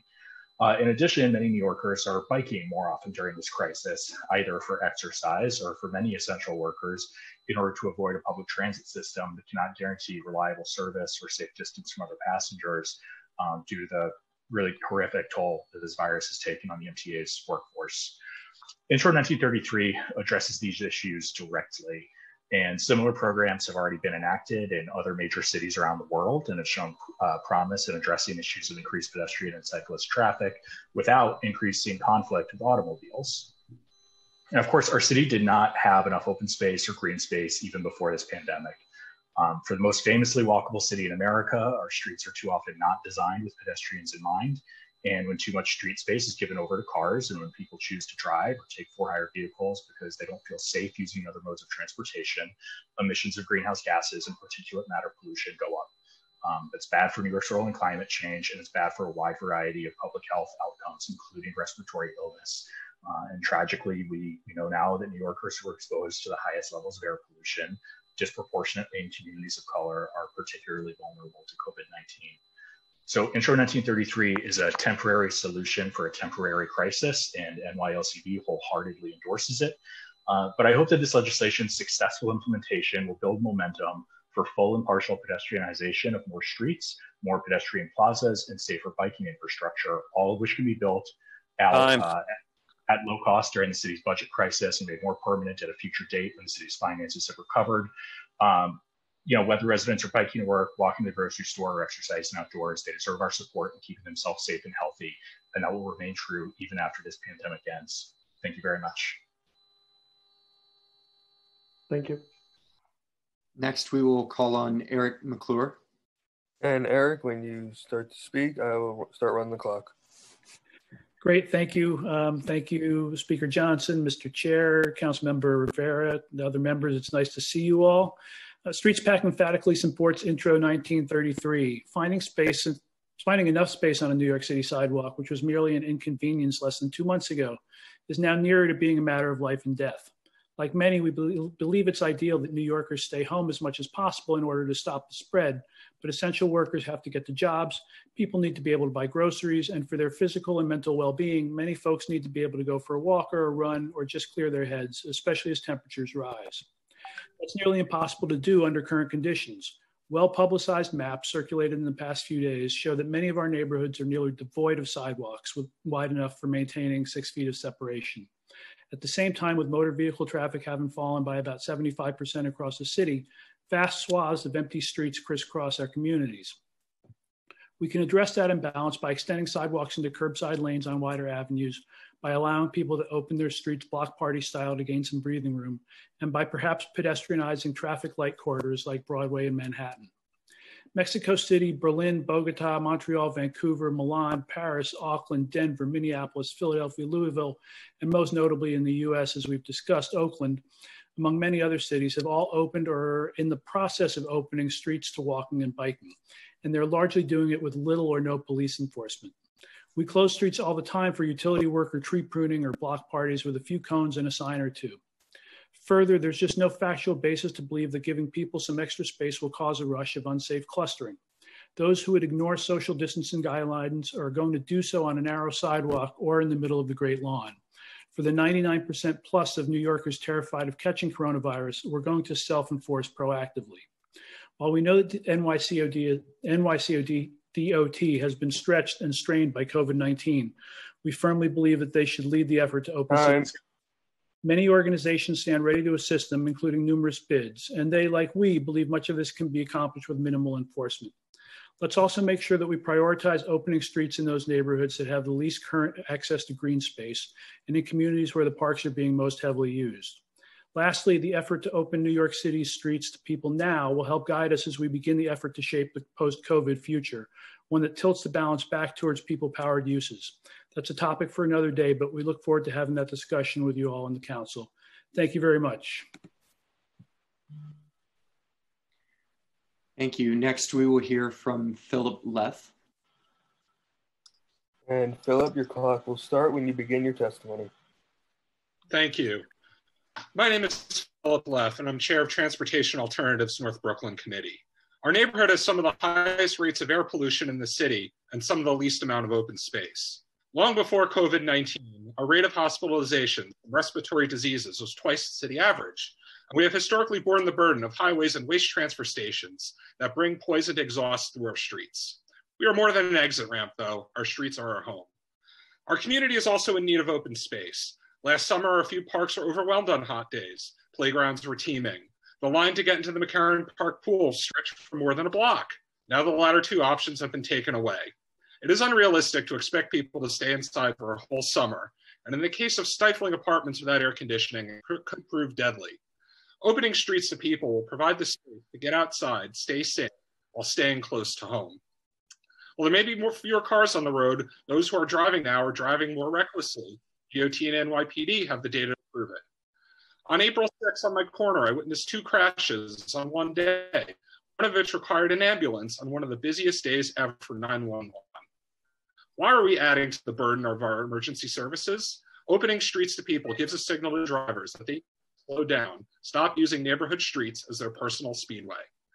Lastly, there is still a need for people to get to work, more so as restrictions are lifted. People may be wary of taking public transit. But even a, if even a small number of people switch from transit to driving, the increase in congestion, pollution, and crashes will make our city unlivable and send more people to our overburdened hospitals. Cities around the world understand this and are taking action to make cycling and walking safer in a post-lockdown world.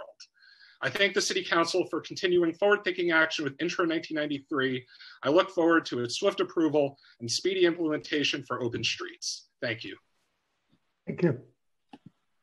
Our next panelist will be Wendy Brawer. And Wendy, your clock will start when you begin your testimony. Hi, um, I'm a designer and a 30 year resident of the Lower East Side. In 1993, I took part in a team rethinking mobility in Manhattan. Our 17 year plan reduced the societal cost of mobility by 50% by year 2010. Our plan opened a lane of parking on every street. Fast forward to today, there's evidence showing that particulate matter from cars exacerbates COVID 19 deaths, so that societal cost is rising. Distancing is a powerful preventative, yet too many heavily impacted neighborhoods don't have wide enough sidewalks, as uh, sidewalkwidth.nyc shows. It's time to create distancing space by removing stored vehicles and reduce and enforce speed limits. Open streets will have a profound benefit on our health and well being. Open streets is something that we can live with. Thank you very much to everybody involved here.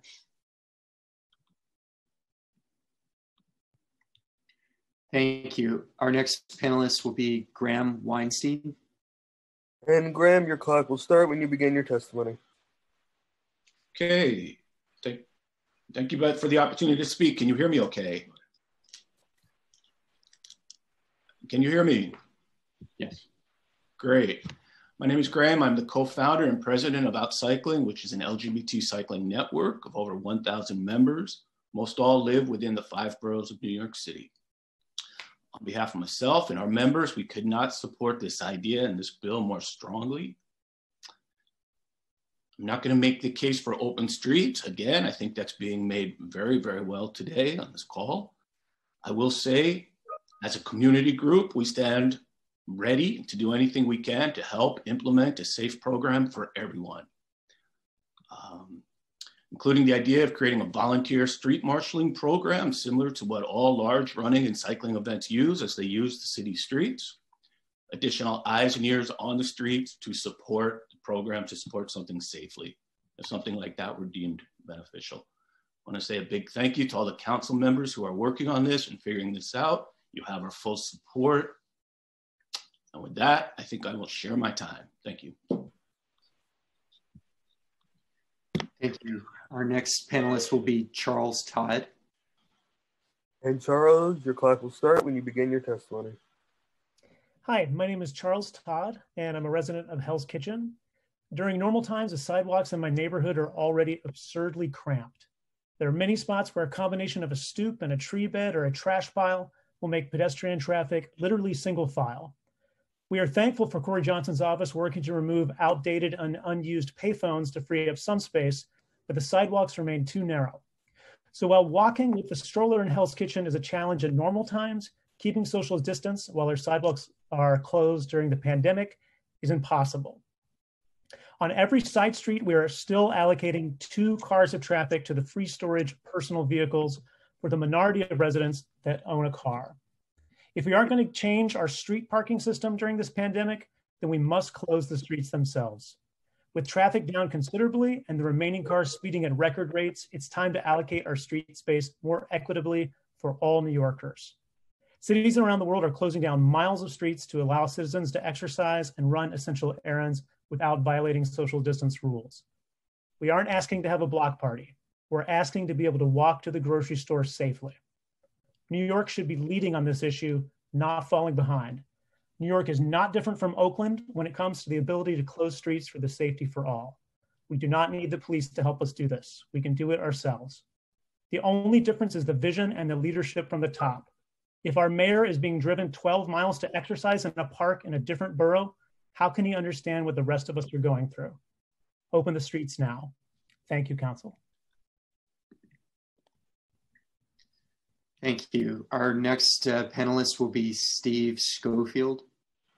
And Steve, your clock will start when you begin your testimony. Thank you. Uh, I'm Steve Schofield. I'm a uh, resident of Astoria, a longtime cyclist. Um, uh, street safety advocate, uh, retired general superintendent for New York City Transit. First of all, thank you for letting me speak. And we've all seen the maps about how uh, our sidewalks are too narrow all over to, to, accommodate any kind of social distancing. Um, I also want to implore the City Council and DOT as part of this proposal to consider um, opening the South Outer Roadway of the Queensboro Bridge to pedestrians. Um, even before this, the North Outer Roadway, 9 to 11 feet wide, was already dangerously overcrowded. Um, even now, with the only essential workers traveling, it's still crowded. You cannot socially distance.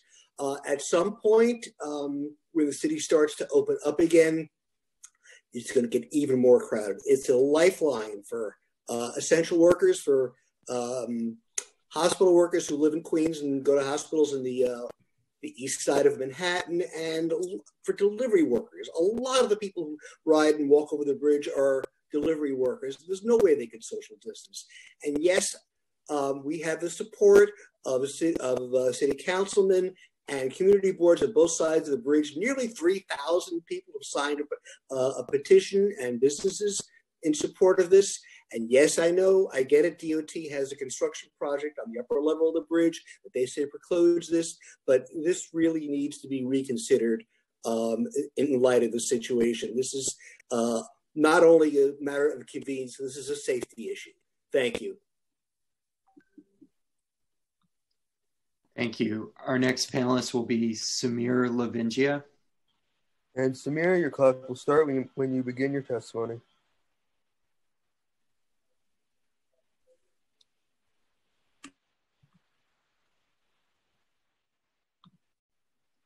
Unmute. All right. Uh, can you hear me? Yes, we do. Yeah. Uh, thank you for having all of us here for some public comment. Uh, I just wanted to start by saying I strongly support the intro and I agree with almost what everyone else has said so far.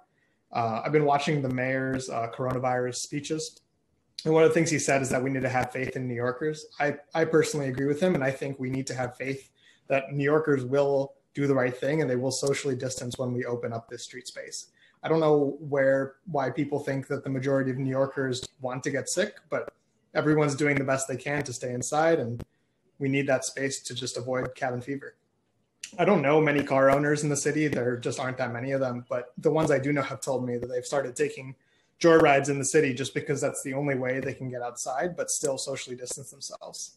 I went outside and I measured the sidewalk right next to me, and as other people have said, between all the um, blockages such as the trash and the, the sidewalk trees, they're just almost like two feet in width, and that's just not possible to, to socially distance on. It's almost impossible to walk on in the first place.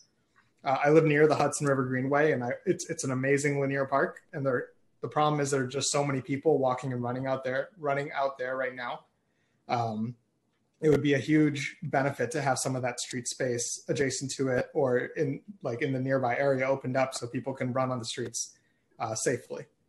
Um, the mayor and his his administration have had months to act, and uh, all we've seen was the the few blocks that were opened up uh, a couple weeks ago for not really that long. Just want to say thank you for the to the council for uh, forcing this issue, even though I wish they didn't have to do so in the first place. Thank you. Thank you. Our next panelist will be Janet Liff. And Janet, your clock will start when you begin your testimony. Thank you. Um, hello, council members. Thank you for giving me a chance to speak. Uh, I'm a director of Neighborhood Empowerment Project at Open Plans, and we believe that our streets are definitely more than just conduits for traffic, and they are where life happens. I'm here to testify in support of the bill uh, that will ensure that during this crisis and beyond, we, we use it to transform our streets now and in the future.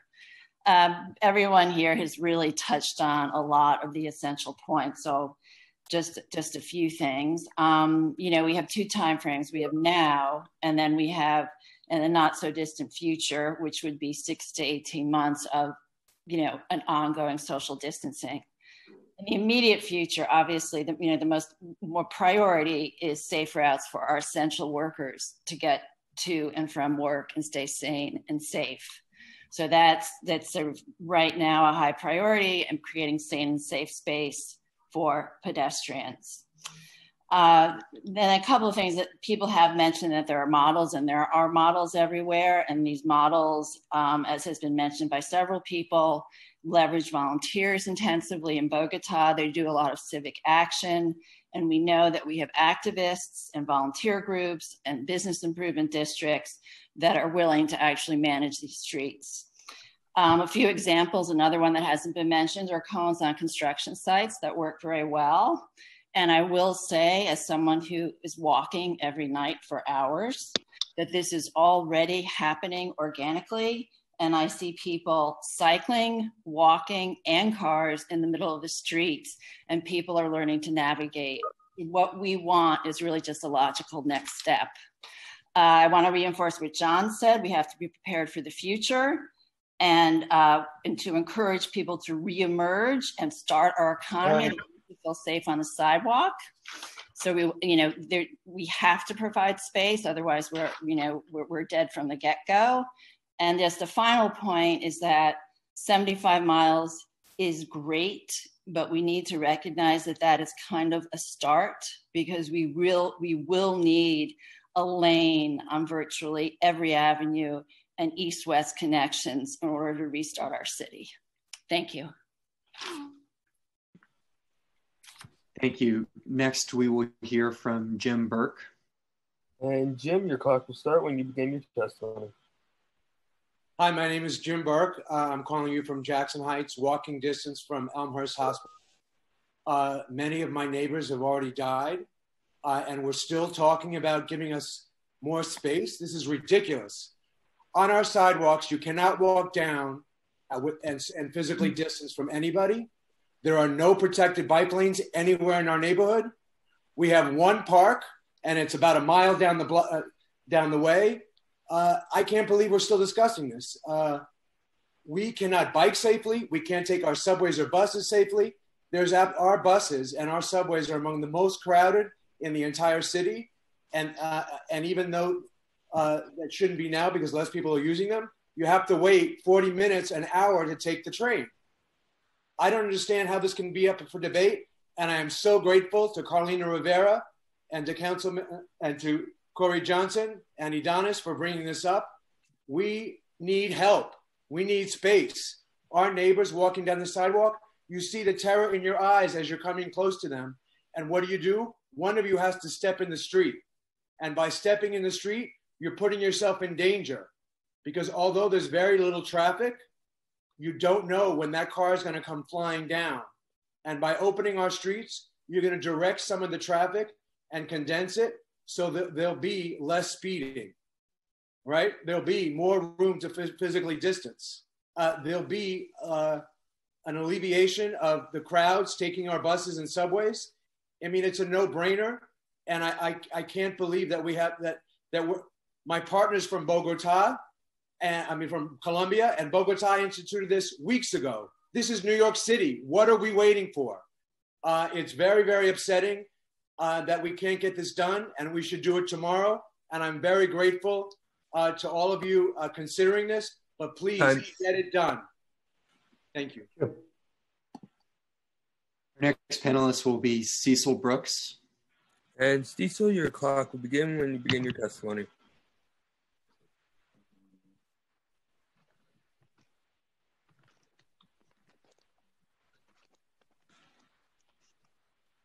Hello, can you hear me all right? Yes. Okay, amateur Zoom user. so, hello, thank you to uh, Committee Chair Rodriguez, Speaker Johnson, Sponsor Rivera, and all of the people in government offering le leadership. My name is Cecil Brooks Jr., lifelong South Bronx resident. I am also uh, a city employee working as, as a legislator and the Bronx Chair of Transportation Alternatives. Outside of that, I am a Community Board 1 resident in the Bronx. So I have a direct stake in how this land is managed, particularly from the equity standpoint and the cultural standpoint, uh, because I am part of the uh, often forgotten Central American, Hondureño, Afro-Indigenous, Latinx community.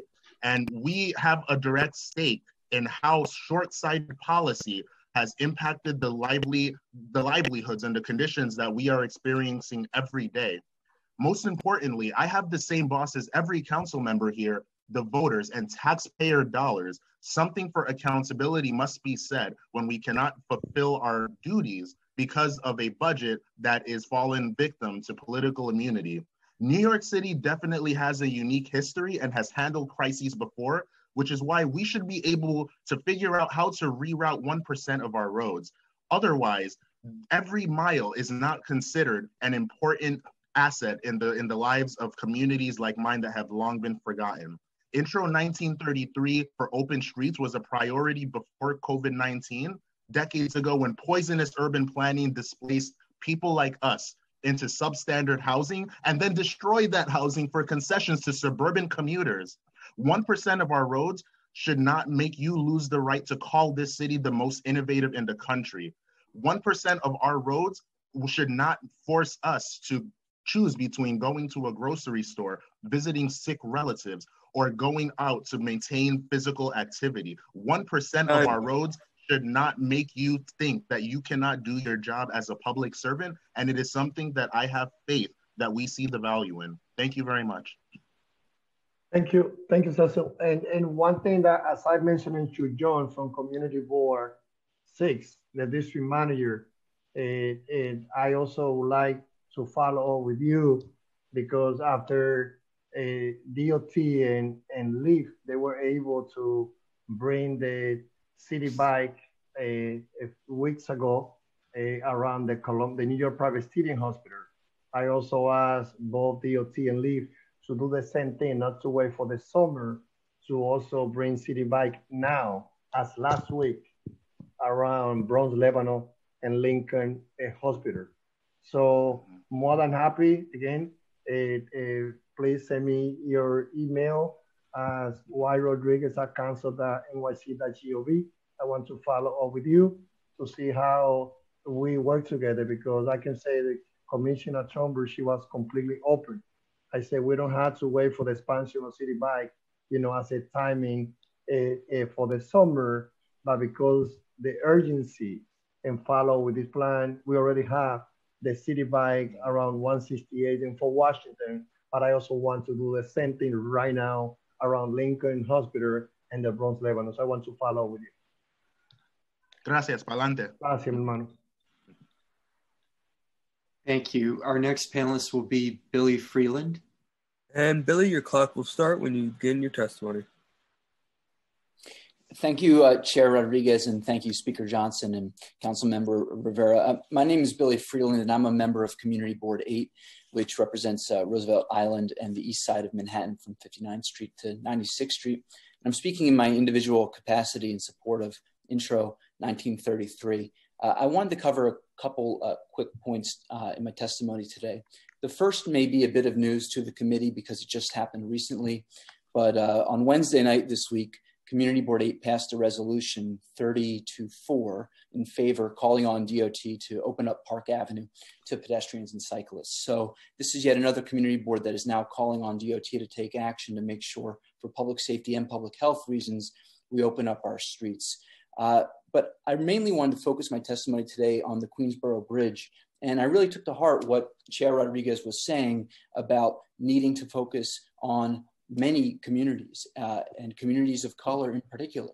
And one thing that desperately needs to be addressed is the congestion on the Queensboro Bridge, a bridge that many essential workers, delivery cyclists, hospital workers, in addition to uh, regular pedestrians and cyclists who just need exercise and some fresh air, we rely on the Queensboro Bridge.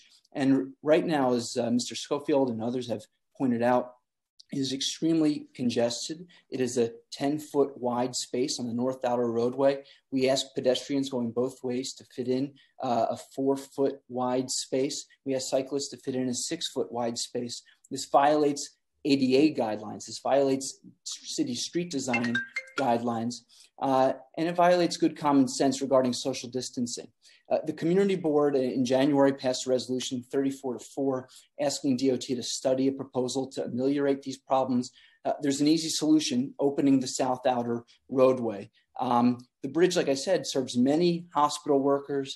Um, and I apologize, I just need a, a, few more seconds to finish this up. But, you know, for example, the busiest Citi Bike station is 68th Street and First Avenue uh, near uh, Weill Cornell Medical Center.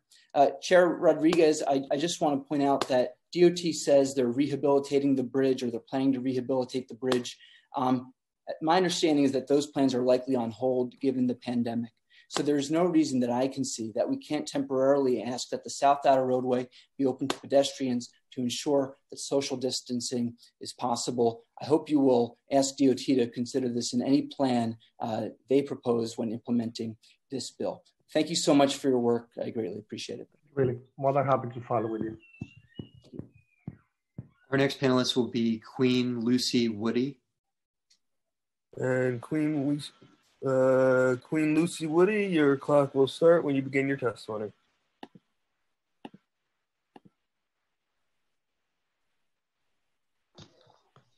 Ready? Yes. My name is Queen Lucy Woody.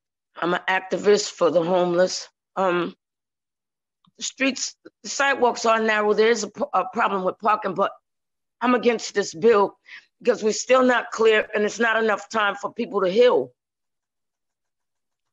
my safe I'm, I'm in the south bronx at this present time and um there is no safe distancing here we have uh drug dealers and everything on on the corners the the derelicts and the homeless people have uh basically taken over the trains so how is there any safety as far as um social distancing i'm against this bill the city's not ready it's just my uh, opinion, me and some other people in the community. I'm from Community Board 9. I moved to the Bronx. And um, we don't oppose this. Thank you for letting me share. I'm done. Thank you. Uh, Councilmember. I'm sorry, yes. I, which, which area uh, uh, do, do you, uh, in which area do you live in the Bronx? On Grand Concourse and 182nd Okay, of so. Walton Avenue. Yeah, thank you. First of all, thank you for bringing the voice. And for me, as I say, I'm all about bringing the voices of the Black, Latino, and Asian and, Mhm. to this conversation because I know, and I will will continue listening from other people, you know, who I am Black Asian. Latino. Yeah, all I'm saying is about that. I, I want to be sure that the voices of Caribbean, Latino, Asian are also here in this conversation.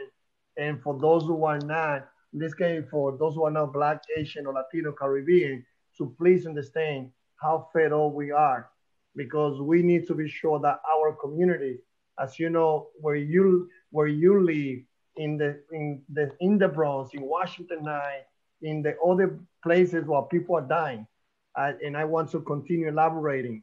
One of the causes of why coronavirus is killing our people is because our people have not have access to green area, to to have safe street for bike for cyclists uh, to to ride a bike with their children in the street. So for me, it is important again. Thank you for for bringing your experience, describing the reality that we live in the Bronx, because it's the same thing that we have seen in underserved communities. So thank you. Welcome. Our next panelist will be Catherine Willis.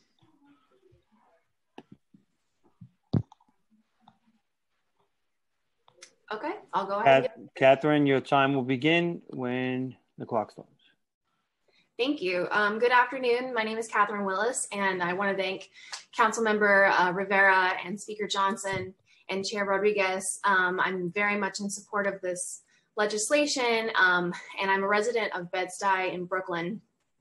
And I think it's important, as so many people have noted, that um, we open streets and we really keep an eye towards equity because everyone's experience, even though we're all in lockdown, is very different. And I really just wanted to speak from my own experience, which is that, you know, my roommate and I are fortunate. We're both still healthy and employed. And, you know, even though we share a small apartment, we have adequate space to work and to even be apart from each other for our own activities. Um, but even on the street outside of where we live on Nostrand Avenue, um, the sidewalks are like narrower than 13 feet wide. They're only 13 feet wide if you count the curb, which no one should be walking on the curb. Um, and that, of course, doesn't take into account everything people have mentioned in terms of trash and tree pits, which I like the tree pits, obviously, but um, social distancing isn't possible even in a broad street like ours.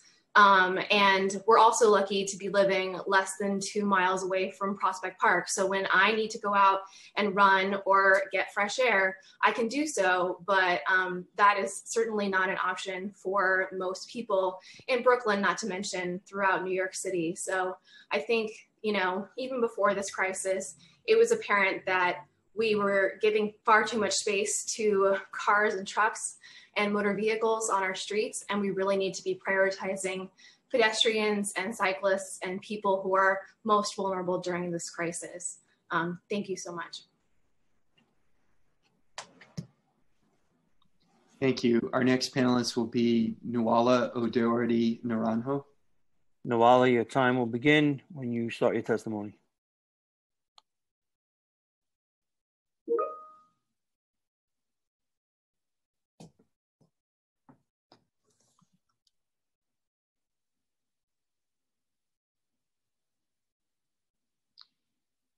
We?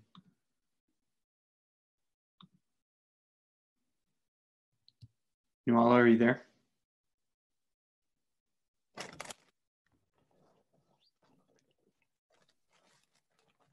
Okay, it seems like we're having audio issues, so we will move on and circle back if we're able to get her on. Um, our next panelist will be David Warren. David, your clock will start when you begin your testimony.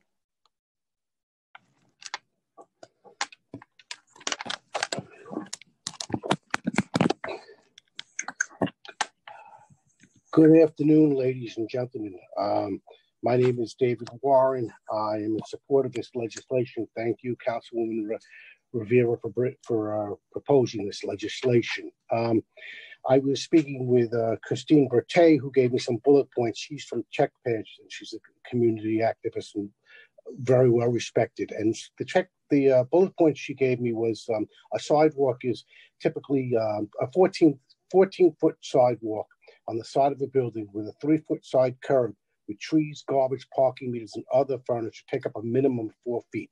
Assuming each person occupies two feet, this leaves only five feet of a walkway to cross each other. That's less than six feet. Most of the residential streets do not have 14 street sidewalks, but rather eight feet or less, taking up at least three feet. There are 3,700 blocks with active construction sites where their pedestrian paths are prescribed by DOT is three feet. And on the 300 mile and 300 miles of sidewalks where there is scaffolding, there is barely space for people to cross each other in normal time. So we ought to keep that in perspective. Now, this is uh, what I would like to say. I'd like to say that hopefully we could uh, be like uh, Brussels with the priority zones. That would be, make a lot of sense. Um, I would hope that we be we when we ease back, we could do this uh, in a very graceful way. I mean, most of the civilized world has some form of um, uh, open streets, and it's a, and it's a disgrace that we do not. I would even like to, to propose a bold uh, proposal where when we ease back, we can have a, a continuous bike protected bikes go from Brighton Beach to the Manhattan Bridge. So this way, essential workers and their and their associates can get to Manhattan without going on public transit, and they would have enough uh, space. Thank you all very much, and um, Time. thank you for this, and I hope you pass this bill unanimously. Thank you. Uh, Nuala O'Doherty Naranjo, do we have you now? Thank you for uh, coming back to me. Um, Nuala, your time will begin when you start your testimony. Great. My name's Nuala O'Doherty Naranjo. Um, I'm a resident here of Jackson Heights, Queens, and we were one of the places where the mayor did open up the street. He opened up a few blocks of 34th Street. Unfortunately, he opened it up as like an almost an armed encampment. There were police officers on every corner. Um, I don't know if you guys have seen the videos, but sometimes four people per intersection, four officers per intersection.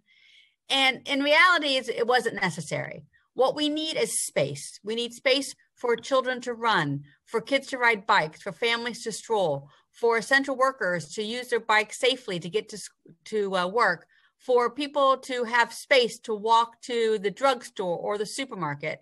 Um, here in Jackson Heights, we have one of the fewest spaces of park space. Um, the only park we have here is Travers Park, and almost half of Travers Park is closed because it's considered a playground. So that means there's very little public space, leaving only sidewalks. And unfortunately, they're just too narrow, especially on trash days. L- luckily, we have lots of great um, trees and tree surrounds, but it means that you can't pass each other on the, on the sidewalk. So what we really need is open space. And the simplest thing to do here in our neighborhood is to close 34th Avenue from the BQE all the way to the Grand Central. And this would leave a corridor right in the heart of a dense neighborhood for people to go out and enjoy some sunshine and fresh air after being cooped up in apartments for so, so long. What we're asking for is simple. Just close down the avenue where there are no businesses, right? It's an avenue that has a lot of churches and schools next to it, an avenue that has lots of uh, green spaces next to it. So it'd be an enjoyable space. It's got a median down the middle and a bike lane. There's no, there are no buses on the avenue. And what that would do is give all this free space so for people. Once it starts getting a little bit warmer, everyone's going to want to explode out of their apartments. Here in Jackson Heights, just blocks from Elmhurst Hospital, we need that space. Thank you. Uh, next, we'll call on Melody Bryant. Melody, your clock will start when you begin your testimony. Okay. My name is Melody Bryant. I'm assuming you can hear me. Yes. Uh, thank you so much for hearing my testimony today. I'd like to speak in favor of this bill. I'm a member of Families for Safe Streets, a resident of Chelsea, and open streets are a matter of life and death to me because as a senior, I'm especially vulnerable to the coronavirus. I abide by advisories to stay at home, but there are times when I need to go out. once every two weeks for groceries, and an hour a day for exercise. I'd like to practice uh, safe social distancing, but my neighborhood doesn't permit it. The sidewalks on my street are about eight feet wide, by the tree wells about three, and if trash is on the street or someone is walking their dog, and we have a lot of dogs here, not even that.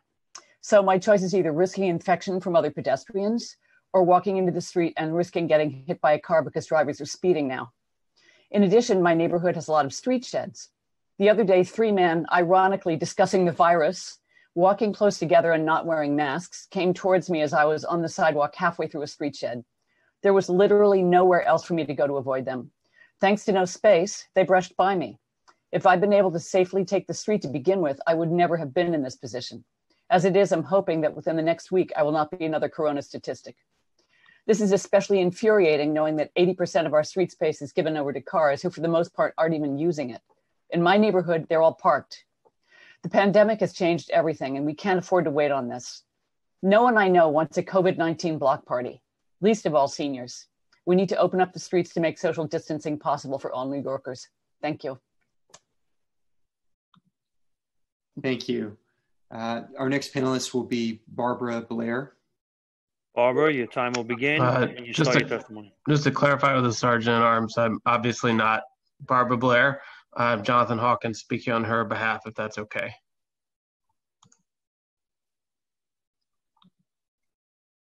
Is that okay? If that's fine with the chair, we can proceed.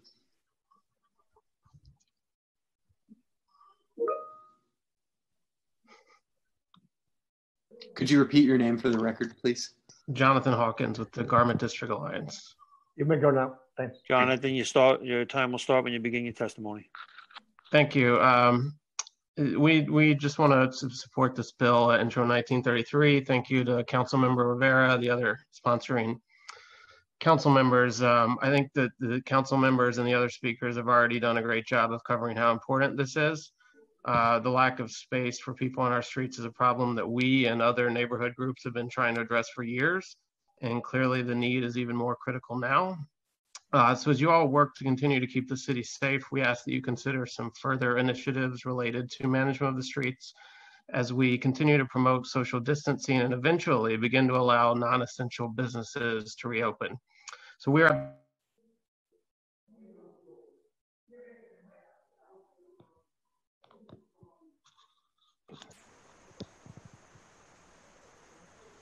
Sounds like we might have lost him. I'm here, I'm here. Can you hear me? Oh, Hello, he's, hello? looks like he's Yeah. still there. He's, Can you hear me now? Sorry, I don't know if that was just me that got kicked out or everybody. I paused your time, Jonathan, so continue. Okay, thank you. Uh, so we're advocating for a few additional ideas. One is to allow restaurants, once they can reopen, to better distance customers while remaining financially viable by allowing temporary seating and parking spaces in front of their establishments, similar to the DOT Street Seat program, but modified to allow businesses to conduct transactions in the space. Next, we would like to allow and require that street vendors locate in an on-street parking space facing the sidewalk rather than narrowing the sidewalk space. We want to advocate for reforming the scaffolding policies, which constrict our sidewalks with nearly 350 miles of scaffolding that's unique globally. Uh, accelerate the removal of unnecessary street furniture that takes up sidewalk space, such as phone booths, most of which don't even work. And finally, just prior to this crisis, uh, the Department of Sanitation had announced the Clean Curbs pilot program to get garbage bags off sidewalks. This program should be an even greater priority now, and we are ready and eager to partner with the city on it. So thank you all for your consideration. I think that uh, with forward thinking and a more proactive approach, we can not only recover from this, Time. but emerge with a city that's more livable and vibrant than ever. Thank you. Thank you. Okay, at this time, that is the end of the list that I have. But if we have missed anyone inadvertently who would like to testify, we'll give you a moment to raise your hand in Zoom. Um, and if not, the chair can give his concluding remarks. Well, first of all, thank you, Speaker Johnson, Council Member Carlina Rivera, all my colleagues who participated in the hearing, the administration. Uh, thank you to the great team, uh, uh, Elio, Tirsa, everyone who has been behind uh, on the ten, on technical, the technical part and the social media to be sure that New Yorkers can follow our hearing. As we have said before, yes, we are still dealing with the coronavirus. Yes, we feel for everyone who are in critical condition or someone that are dying as we've been holding this hearing, but as a city, we have to move on. Uh, as a city, we need to understand that we have to continue opening our street, especially in areas that need it the most. Thank you to all the stakeholders, Transportation Alternative, StreetsPAC, and anyone, everyone that they have lost a loved one in any crash, Family for Safe Street, and especially those who live in underserved communities, or those of you that uh, are the voices also with those individuals that have been left behind.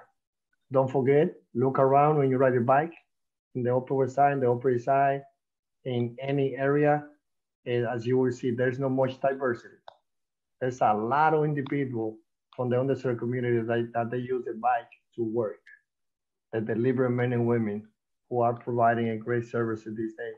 But when it comes to challenges that we have to bring diversity, to make a bicycle accessible, not everyone can, can buy a couple of thousand, couple of hundred dollar bike.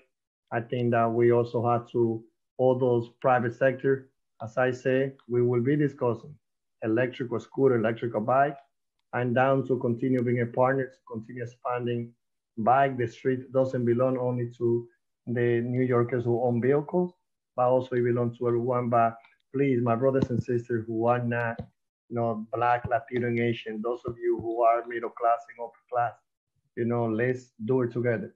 Let's be sure that you put your voice, you use your leadership, you use the role that you can play in your institution, especially in the private advocate uh, work together. Let's ride the bike to the underserved communities, and we you will see that a lot of the things that we're discussing right now should start there in communities that we have left behind. So with that, thank you everyone. Thank you to the transportation staff, the council, and with that, this hearing is adjourned.